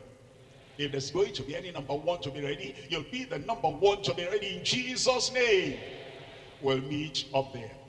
I said we'll meet up there. You'll be there and every sanctified soul, every righteous soul, everyone that is washed in the blood of the Lamb will be ready and your place will not be missing on that day in Jesus' name. When he comes, which nobody knows because he can come anytime, when he comes, sanctification that you have will be intact in Jesus name and the holiness and the righteousness you have will be intact in Jesus name and at the sound of the trumpet when the dead shall rise and then we which are alive shall be caught up together to meet them in the air then that magnet from heaven will magnetize you and take you up up, you'll be there. And then so shall we forever be with the Lord. You'll not be missing in Jesus' name. Now point number three, after we're gone, something will happen over here in the world. The punishable wickedness of falling, forsaking, Babylon. Look at Revelation chapter 16, verse 19. Revelation chapter 16, verse 19. And the great city was divided into three parts. Now, when it says great city, What's your picture of a great city? You know, sometimes there are um, there are people that qualify and that estimate how great a city is. And they look at, you know, what makes a city great? They look at the economy, great city. They look at the road network, networks, great city. They look at the healthcare, great city. They look at their educational institutions, great city. And they look at their tourism, great city. They look at the living lifestyle, the living standard of the people, great city. And then other people, even from here and from there, they're rushing to that place we've heard. It's a great city, but they don't know what will happen to the great city. I pray in these last days, God will keep us, will not be running helter-skelter in Jesus' name. There are people who run to great cities where there's no real Bible believing fellowship. There are people that run to great cities where idolatry and fornication and evil and worldliness is just filled the place. All they're looking for, they're looking for good economy. They're looking for good education. They're looking for civilization. They're looking for this and that, not knowing that very soon, in a few hours, in a few days, all the greatness of that city will be wiped out by the indignation and the wrath of God. It says, and the great city was divided into three parts, and the cities of the nations fell, and great Babylon came in remembrance before God to give unto her the cup of the wine of the fierceness of his wrath. There are three things we're looking at here. Number one, the fury and fierceness against filthy Babylon filthy Babylon. Look at any great city today. They are a picture, a replica of the great Babylon. Crime is rampant in all those great cities. And when Christ comes and the bride of Christ is taken out of the world, there'll be the fury and the fierceness against filthy Babylon. Number two, And the fire forever for forsaking blasphemers, blasphemers. The people that will blaspheme God, they're not satisfied with just forsaking God and leaving God alone. They recognize God is there in heaven and all their punishment is coming from that great God and the fury and the fire is coming from that great God and they will be blaspheming and the Lord will forsake them and then they'll face the fury of the fire forever and ever. Number three is the faith and the faithfulness of firm believers. The believers who say, The sea may rage, we're firm believing the Lord. And the storm may come, but we're firm in believing the Lord. Persecution, trial, and temptation may come, but we're firm and focused and fixed in believing the Lord. And we're going to abide in the Lord forever. Those people, you will never be confounded you will never be ashamed. And the glory of God will be upon your life. And when you will come, you'll not be found wanting in Jesus' name. I thought the church will give a good amen.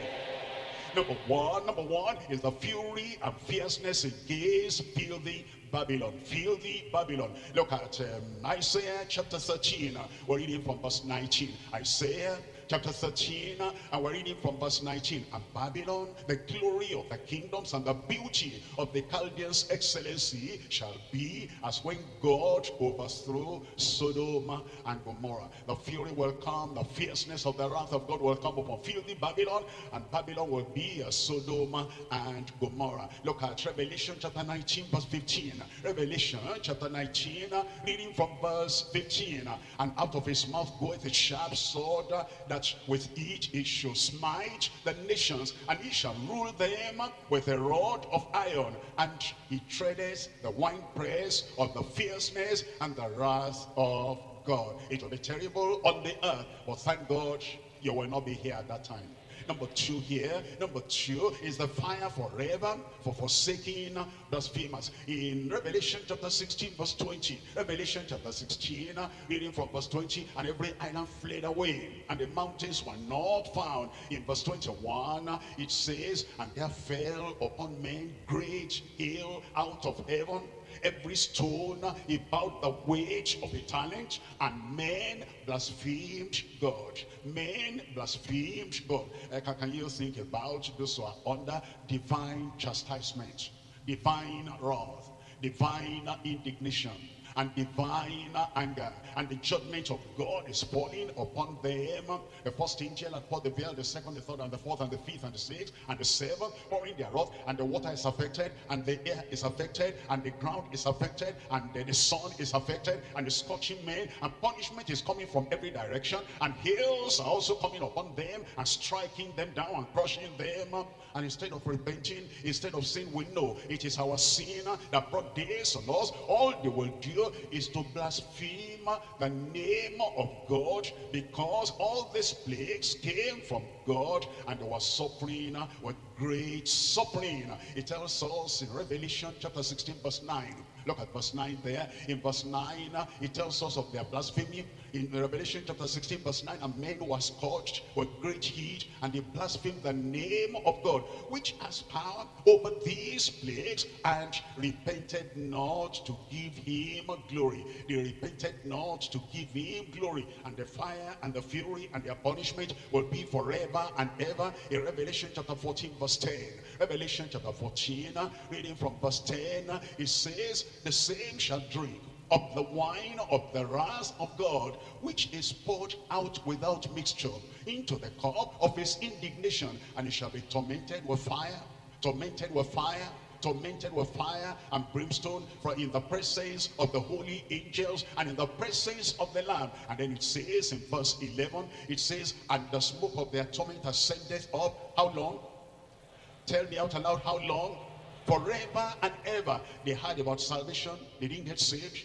They heard about holiness, follow peace with God, follow peace with men and holiness without which no man shall see the Lord. They didn't even make any attempt to have peace with God and to have peace in their heart and to have peace with their fellow man. And they heard about the necessity of watching and praying so they will be ready when the Lord will come. No, they will not watch. No, that's not their concern. And they remained careless until the bride of Christ was taken away. And they remained careless until the wrath and the indignation began to pour upon this. Uh, well, this is the final end, the smoke of their torment ascendeth up forever and ever, and they have no rest, they have no recreation, there is no relaxation day nor night, who worship the beast and his image, and whosoever receiveth the mark of his name. What will they be doing? They continue in sin with hardness of heart and without any repentance. In Revelation chapter 19, reading from verse 20. Revelation chapter 19, reading from verse 20, it says, And the beast was taken and with him the false prophet that wrought miracles before them,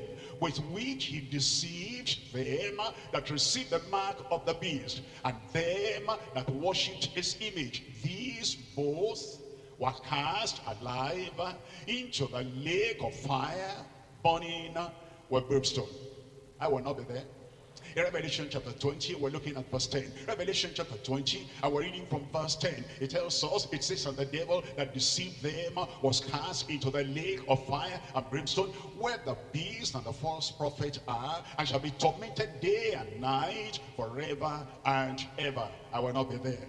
Look at verse 15 there. In verse 15, it tells us, Revelation chapter 20, verse 15, and whosoever was not found reaching in the book of life was cast into the lake of fire. Uh, the question is, is your name in the book of life? Are you born again? Are you a child of God? Are you a member of the family of God? Has your name been written in the book of life? And does your name remain in the book of life? Because whosoever, anywhere, anytime whosoever was not found written in the book of life was cast into the lake of fire now when they will be in you know on the earth and it starts suffering like that those of us who are saved sanctified holy righteous ready for the Lord, we will be enjoying with the Lord and with the saints up in heaven in Jesus' name.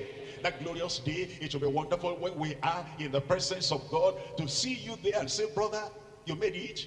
Yes, by the grace of God, in the strength of the Lord, by the power, enablement of the Holy Ghost, you'll make it. I'll make it will make it in Jesus' name. Look at number three now. Number three is the faith and the faithfulness of firm believers. The faith and the faithfulness of firm believers. The people who say, I have laid my hands on the plow, I will not turn back. The people who say, I believe in the Lord and I will not stop my journey halfway. I have, I'm holding on to the Lord and forever and ever I will be with the Lord. Their mind is set they are focused and they're fixed and they say this gospel I have this salvation I have nothing will take it away from my hand. Be it so for you in Jesus name. Look at Psalm 112 Psalm 112 we're reading from verse 7 Psalm 112 we're looking in at verse 7 he shall not be afraid of evil tidings. He shall not be afraid of bad news. He shall not be afraid of whatever they say in the news. They hear on the radio. They see on the net they see in the newspapers everybody is running they're running away and then some people say are you not going to run away run away to where there's no church and where there's no security and run away to where the power of God will not be there the people of God will not be there it says no I'm not afraid because the Lord is with me the Lord will be with you his strength will be with you. His grace will be with you. He shall not be afraid of evil tidings. His heart is, tell me, his heart is, my heart is, your heart speaks trusting in the Lord. You'll be firm and fixed and focused until the end in Jesus' name. Psalm 57, I'm looking at verse 7. Psalm 57, we're looking at verse 7. It says in verse 57, verse 7, My heart is fixed, oh God, my heart is fixed. The wind is blowing, the tempter is tempting, the trials are multiplying, and the situation of the world is going from bad to worse. All the same, my heart is fixed, oh God, my heart is fixed. We're looking at Psalm 108, verse 1. Psalm 108, we're looking at verse 1. It says, oh God, my heart is fixed. I will sing and give praise even with my glory. Whatever may be happening, your heart will remain fixed until the very end in Jesus' name. This gospel you have discovered and this gospel you possess, nothing will take it away from your life and from your heart in Jesus' name. Isaiah chapter 50, I'm reading from verse 7. Isaiah chapter 50, we're looking at verse 7. It says, For the Lord God will help me the Lord God will help me. Looks like I'm the only one in the house today. The Lord God will help me. In a time of trial, He will help you. In a time of temptation, He will help you. In a time when everybody is running up and down, helter skelter, the Lord will help you. In the time when everybody is collapsing because of the challenges upon them, the Lord will help you. Look at that again, Isaiah 50 verse 7. For the Lord God will help me. Therefore shall I not be confounded. I will not be confused. I will not be confounded. I will not be conquered. I will not be defeated. I will not be trampled on. I will not be denied. I've lost my people.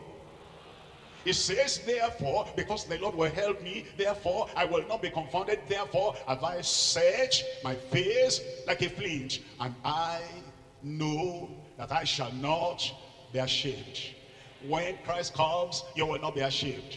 When the trumpet sounds, you will not be ashamed. And when the angels welcome the saints to heaven, you will be present there. You will not be ashamed in Jesus' name when Christ divides the sheep from the goat and then he says goat will go to the other side but the sheep and the children of God and the saints of God will go up with him you will be there you'll not be ashamed in Jesus name congratulations. Happy time for you. And the grace of God multiply in your life in this life in any time every time. You will not be ashamed. In Jesus name what are you? I will not be ashamed. What are you? I will not be ashamed. What are you? I will not be ashamed. Satan will not catch you. Evil will not catch you. Demons will not catch you. Temptations will not catch you. The trials will not catch you. You will not, you will not fade off and you will not die in the middle of the road. The Lord is coming. He will help you. He will help you. And you set your face as a flint and you say, I will make it. And you'll not be ashamed forever and ever in Jesus' name.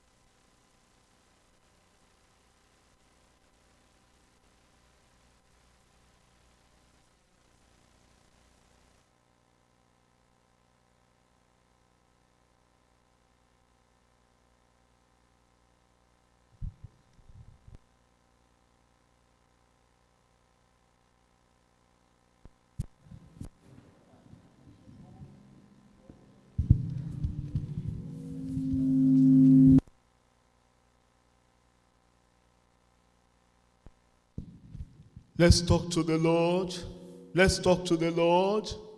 My brothers and sisters, what a timely message. We are in the last day. You want to pray. You want to pray that you will not be left behind. You will not be left behind. When the Antichrist will come here on earth to unleash his terror, his word upon the people of the earth, you will not be here. Open your mouth and talk to the Lord. And ask for the grace of God that you will not be ashamed. That the Lord will help you. That the Lord will help you. These are trying times. These are difficult times, but you want to pray that no matter the difficulties and the trials here on earth, you will not be ashamed. That the Lord will keep you to the very end. If you are not yet born again, you to come before the Lord and surrender yourself to the Lord and say, Lord, forgive me of my sin. Wash me with the blood of Jesus Christ. I will not be here when the Antichrist will unleash his terror upon the people of the earth. Pray that prayer and talk to the Lord. Pray that prayer and talk to the Lord. That the Lord will help you. My brother, that the Lord will help you. My sister, that the Lord will help you. Your heart will be fixed. Your mind will be fixed. You will be trusting the Lord. You will be trusting the Lord. You will be trusting the Lord. Talk to the Lord. That the Lord himself will help you. That the Lord himself will help you. You will not be deceived. You will not be deceived by the Antichrist, the wonders, the lying wonders of the Antichrist. You will not be deceived. There is punishment for all those lawless worshippers of the beast. You will not partake in the worship, in the deception of the Antichrist. Remember that Antichrist is already in the world. That Antichrist is already here. You want to pray and talk to the Lord that the Lord himself will keep you.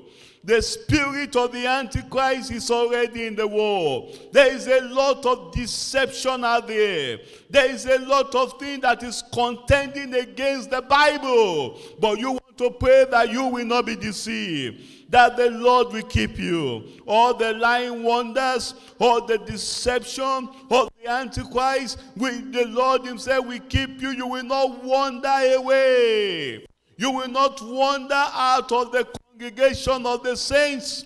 You will not wander out of the doctrines, the sound doctrines of the word of God we've been taught in this church. by our Father and the Lord and all our pastors that the Lord have been using to teach us this doctrine, this word of God, you will not wander away. Pray and talk to the Lord. Talk to the Lord that you will be watchful. You will be watchful. Christ himself has given us that prophetic word. He is coming again. Jesus is coming again. Either the Antichrist likes it or not, Jesus is coming again. Nothing on this earth can stop him. He's coming, number one, to take us home to himself, and then he's coming again to rule upon the surface of the whole earth. You want to pray that when Christ will come at the rapture to take his saints away, you will not be missing, I will not be missing. Let's talk to the Lord. Giving the warning already of constant readiness that we need to be ready at all time. We need to be prepared at all time because he will come as a thief in the night. He will come as a thief in the night. You want to pray that you will not be careless, my brother. You will not be careless, my sister. That the Lord himself will help you, that you will be ready. I will be ready. Pray and talk to the Lord. Anything in your life that want to make you not to be ready for the coming of the Lord, you want to pray that the Lord himself will take it away. Talk to the Lord. You want to have that prayerful watchfulness with Christ-like righteousness. The righteousness of Christ. The righteousness of Christ that the Lord will give it to you. That righteousness. That righteousness. The Lord will clothe you. You will not allow the righteousness, your garment of righteousness to be stained with the pollution and the mud out there in the world. Let's pray and talk to the Lord. Because the Lord is coming for a spotless church, a blameless church, a church without any wrinkle. You want to pray that the Lord himself we help you, just like we learned even last week Sunday. We are the temple of the living God. The Lord will help you to keep your garment of righteousness, your garment of holiness, that you will not be defiled. I will not be defiled. Let's pray and talk to the Lord and ask that the Lord himself will keep us in righteousness, in true holiness all the days of our life. So that when he comes on that day to take his saints away, we will not be ashamed. I will not be ashamed. You will not be ashamed. We will hear the sound of the trumpet. We will remain steadfast. We will remain fixed. We will remain focused. Let's talk to the Lord because there is eternal judgment that is coming upon all the backsliders, upon all the blasphemers, upon all those hypocritical Christians that come into a congregation like this and they are still not yet saved. There is the fury of fire. There is the forever fire that all those whose names are not in the book of life will be cast into the lake of fire. My brother is your name in the book of life. My sister is your name in the book of life. You want to present yourself to the Lord this very day and say, Lord, help me that my name will be in the book of life. My name will not be taken out of the book of life. That the Lord will keep you. You want to pray and talk to the Lord and you want to remain firm. You want to remain steadfast. You want to remain righteous. That when the Lord will come to take his saints away, you will not be missing. I will not be missing. The grace of the Lord is sufficient.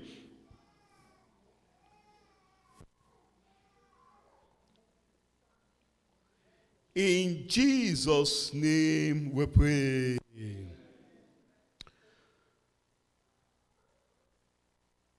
Oh, my dear Lord.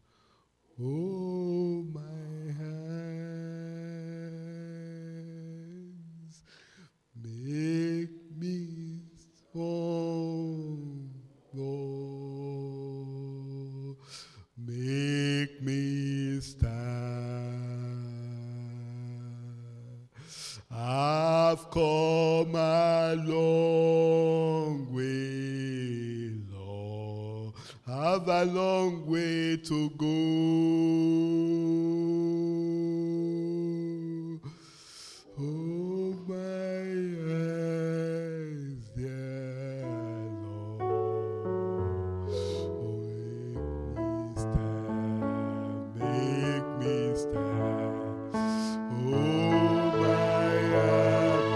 That prayer. Sing that song. Yes. Oh, my, we are asking that the Lord will hold our hand. You cannot make this journey on your own.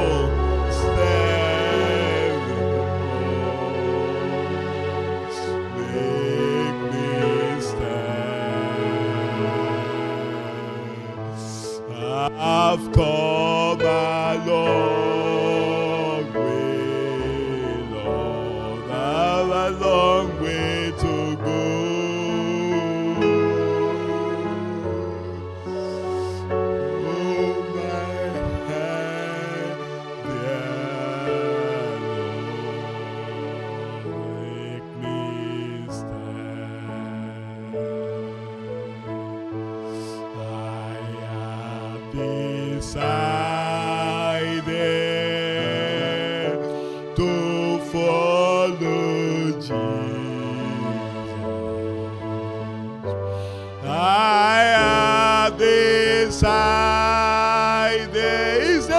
of consecration. Follow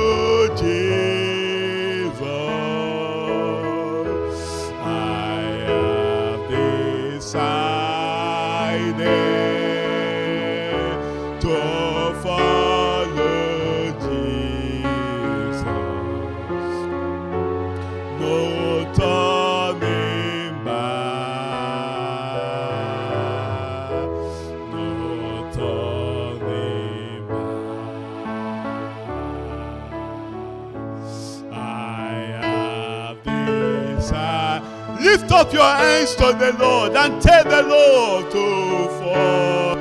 Yes, I have decided. I have decided. Come what may. I'm going to follow Jesus till the very end. No matter the trials, no matter the temptations, no matter the challenges, you will follow Jesus.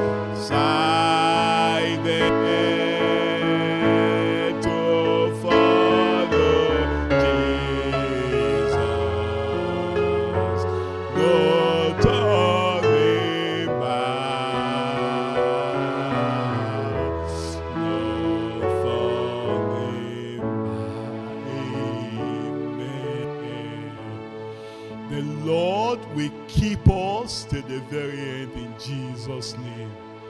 You will not turn back.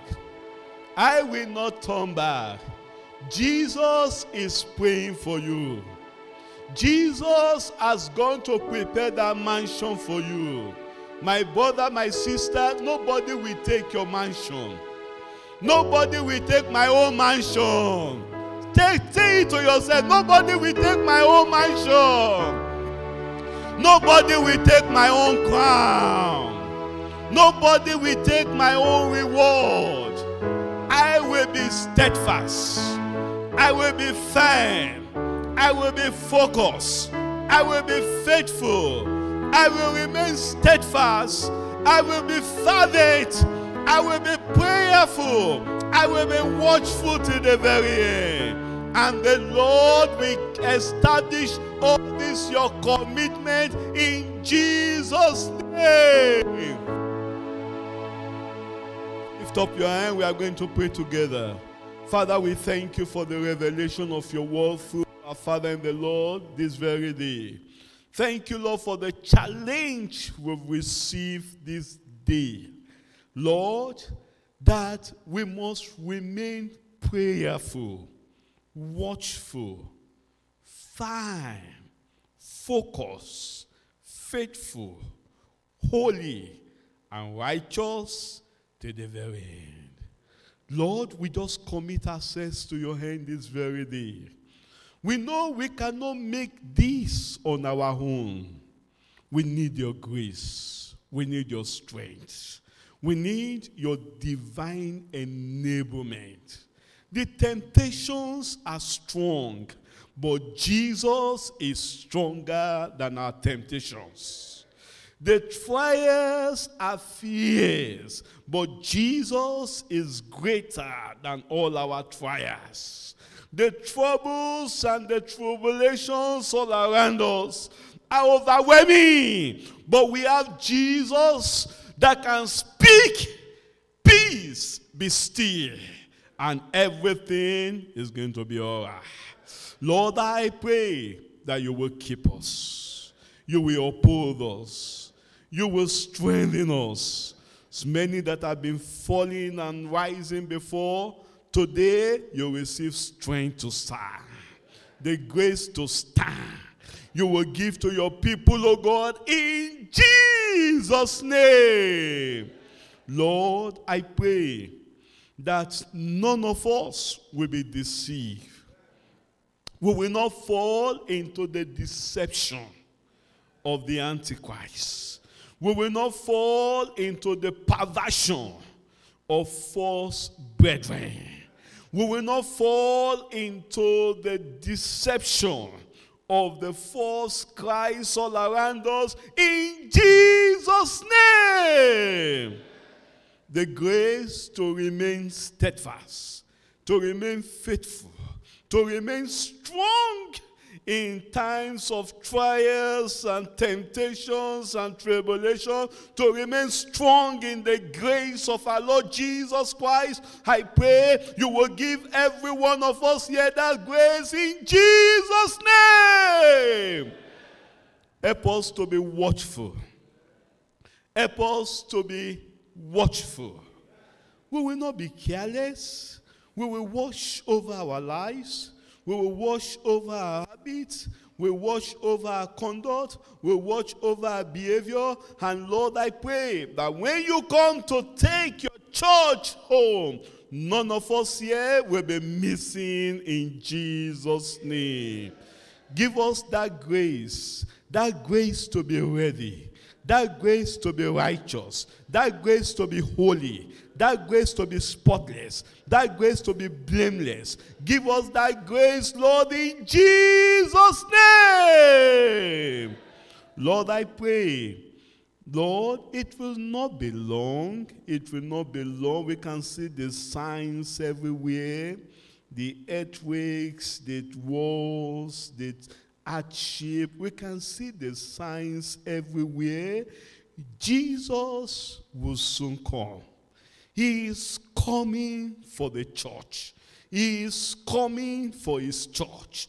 Lord, I pray that on that day, when you come to take your people home, none of us here will be ashamed. None of us here will be left behind. Lord, give us that grace that every one of us we will make it on that day in Jesus' name. And to make it require that we must be ready. We must be prepared. We must be watchful. We must be prayerful. We must be holy. We must be righteous. We must remain engaged in the service of the Lord. All that is required for us to accomplish so that we can make it at the rapture. Lord, I pray, give every one of us here that grace in Jesus' name. The joy of Christ is that the mansion he has gone to prepare for us, that we will receive it. The joy of our Father in the Lord is that when he gets to heaven, he wants to see us on that heaven. The joy of our pastor here is that when he gets to heaven, he wants to see every member of the church here in Aberdeen in heaven. Lord, I pray our joy will be full. Help us, Lord, to make it. Give us that grace to make it. No matter the trials, no matter the temptations, no matter the challenges and the difficulties we are facing here on earth, Lord, I pray that none of these things will make us to miss the rapture. Keep us ready. Keep us watchful. Keep us steadfast. Keep us prayerful. And I pray that on that day, when you come to take your people home, Lord, we will be counted worthy to go with you. Pray that the message we've had today, we will not just hear this message, but we will go back and pray and make sure that everything we've had, we will be the doers of your word in Jesus' name. Thank you, Father, because I know you've an, an answer. Worship and we exalt your name, Lord. In Jesus' name we pray. Amen. Amen. Shall we be seated, please, briefly, very briefly? I know we'll soon be leaving now. We've almost come to the end of our service, but before we go, like I told us earlier, we have some August visitors in our midst. The newest couple, uh, they married last year, November, but our sister is here now. And as a church, we want to welcome them warmly into the fellowship of God's people and also to pray for them. And as we pray for them, we are believing the Lord that the Lord Himself is going to do great things in their family in Jesus' name. Praise the Lord. So I just need five minutes of your time. We invite our brother and sister, brother and sister Okechukwu, please. Uh, can we come forward, please? Augustine. Let's clap for them. Let's clap for them. Let's clap for them. Clap for them. Okay, just face the congregation. You are welcome to, to the church. We are going to pray for them. Shall we just rise up together now? Let's rise up together. Stretch your hand towards them. And you want to pray. Abraham's blessing. Abraham's blessing. Abundant blessing. The blessing of fruitfulness. The blessing of prosperity will be the Lord of this family in the name of Jesus. That as the Lord has brought them into this city of Aberdeen, the Lord will establish them. Their home will be blessed. Let's open our mouth and pray for them. Pray for them. Stretch forth your hand. Pray for them. Lord, bless them. Their blessing will be ten times better ten times greater in the name of Jesus. Let's lift up the, let's pray. Every evil hands against them, the Lord will cancel it. All their heart desire, this home will be established on the foundation of Christ. That is established on the foundation of Christ. The devil himself will not be able to destroy that foundation. That foundation will stand. Pray, pray for them, pray for them in the name of Jesus. In the name of Jesus. Pray for them. In Jesus' name we pray. Our Father and our God, we want to thank you for uh, the family of our brother and sister Augustine. Thank you for what you've started already in this family. Lord, we are praying and we are asking that you will open the windows of heaven and you will command the blessings of Abraham, the blessings of Israel, the blessing of the children of Christ. You will command that blessing upon this family in the name of Jesus. Lord, we pray that your hand will be upon them. This home that is founded on the foundation of Christ Lord, I pray that that foundation will not be shaking in Jesus' name. Lord, as they open their mouth and pray as a family, you will grant speedy answers to all their requests in Jesus' name. The promise of Isaiah chapter 65 verse 24 will be theirs. That before they open their mouth and ask, you will answer them. You will bless them. Your blessing will be upon them. Your blessing will be upon them. They shall possess the gates of their enemies in Jesus' name. Lord, even in this city, they shall be established. This family will be established. The grace of the Lord will be upon them. The hand of the Lord will be upon them. Lord, I pray that your divine protection will be upon them. No evil hand will come near them in Jesus' name. Lord, there shall be fruitfulness. There shall be abundance. There shall be righteousness. More of your grace, greater grace you will give to them in this home in Jesus' name. Lord, I pray that, Lord, for them and every family is here in our church, your hand will be upon everyone. And this year, as you have given us that promise, we will possess our possessions in Jesus' name. Thank you, Father, because I know you've had an answer. Worship and we exalt your name, Lord. In Jesus' mighty name we pray. Amen. Shall we just welcome our sister again? Let's clap for her. Let's clap for them. Clap for them. You are welcome. You are welcome, my sister. You can go to your seat.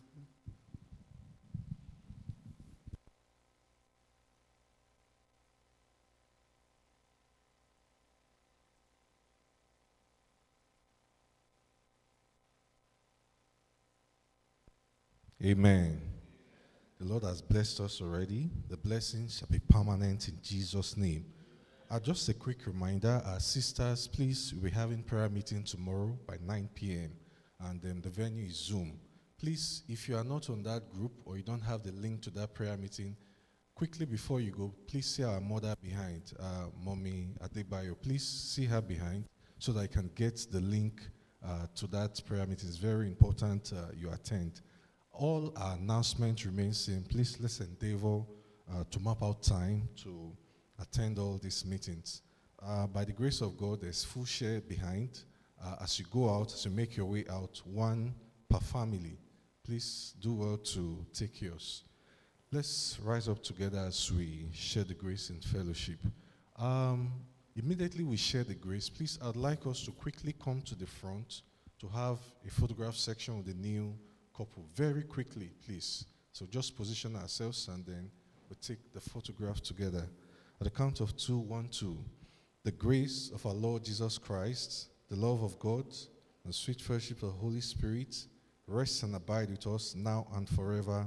Amen. Surely God's goodness and mercy shall follow us all the days of our lives, and we shall dwell in the house of the Lord forever and ever. Amen. Thank you, and God bless you.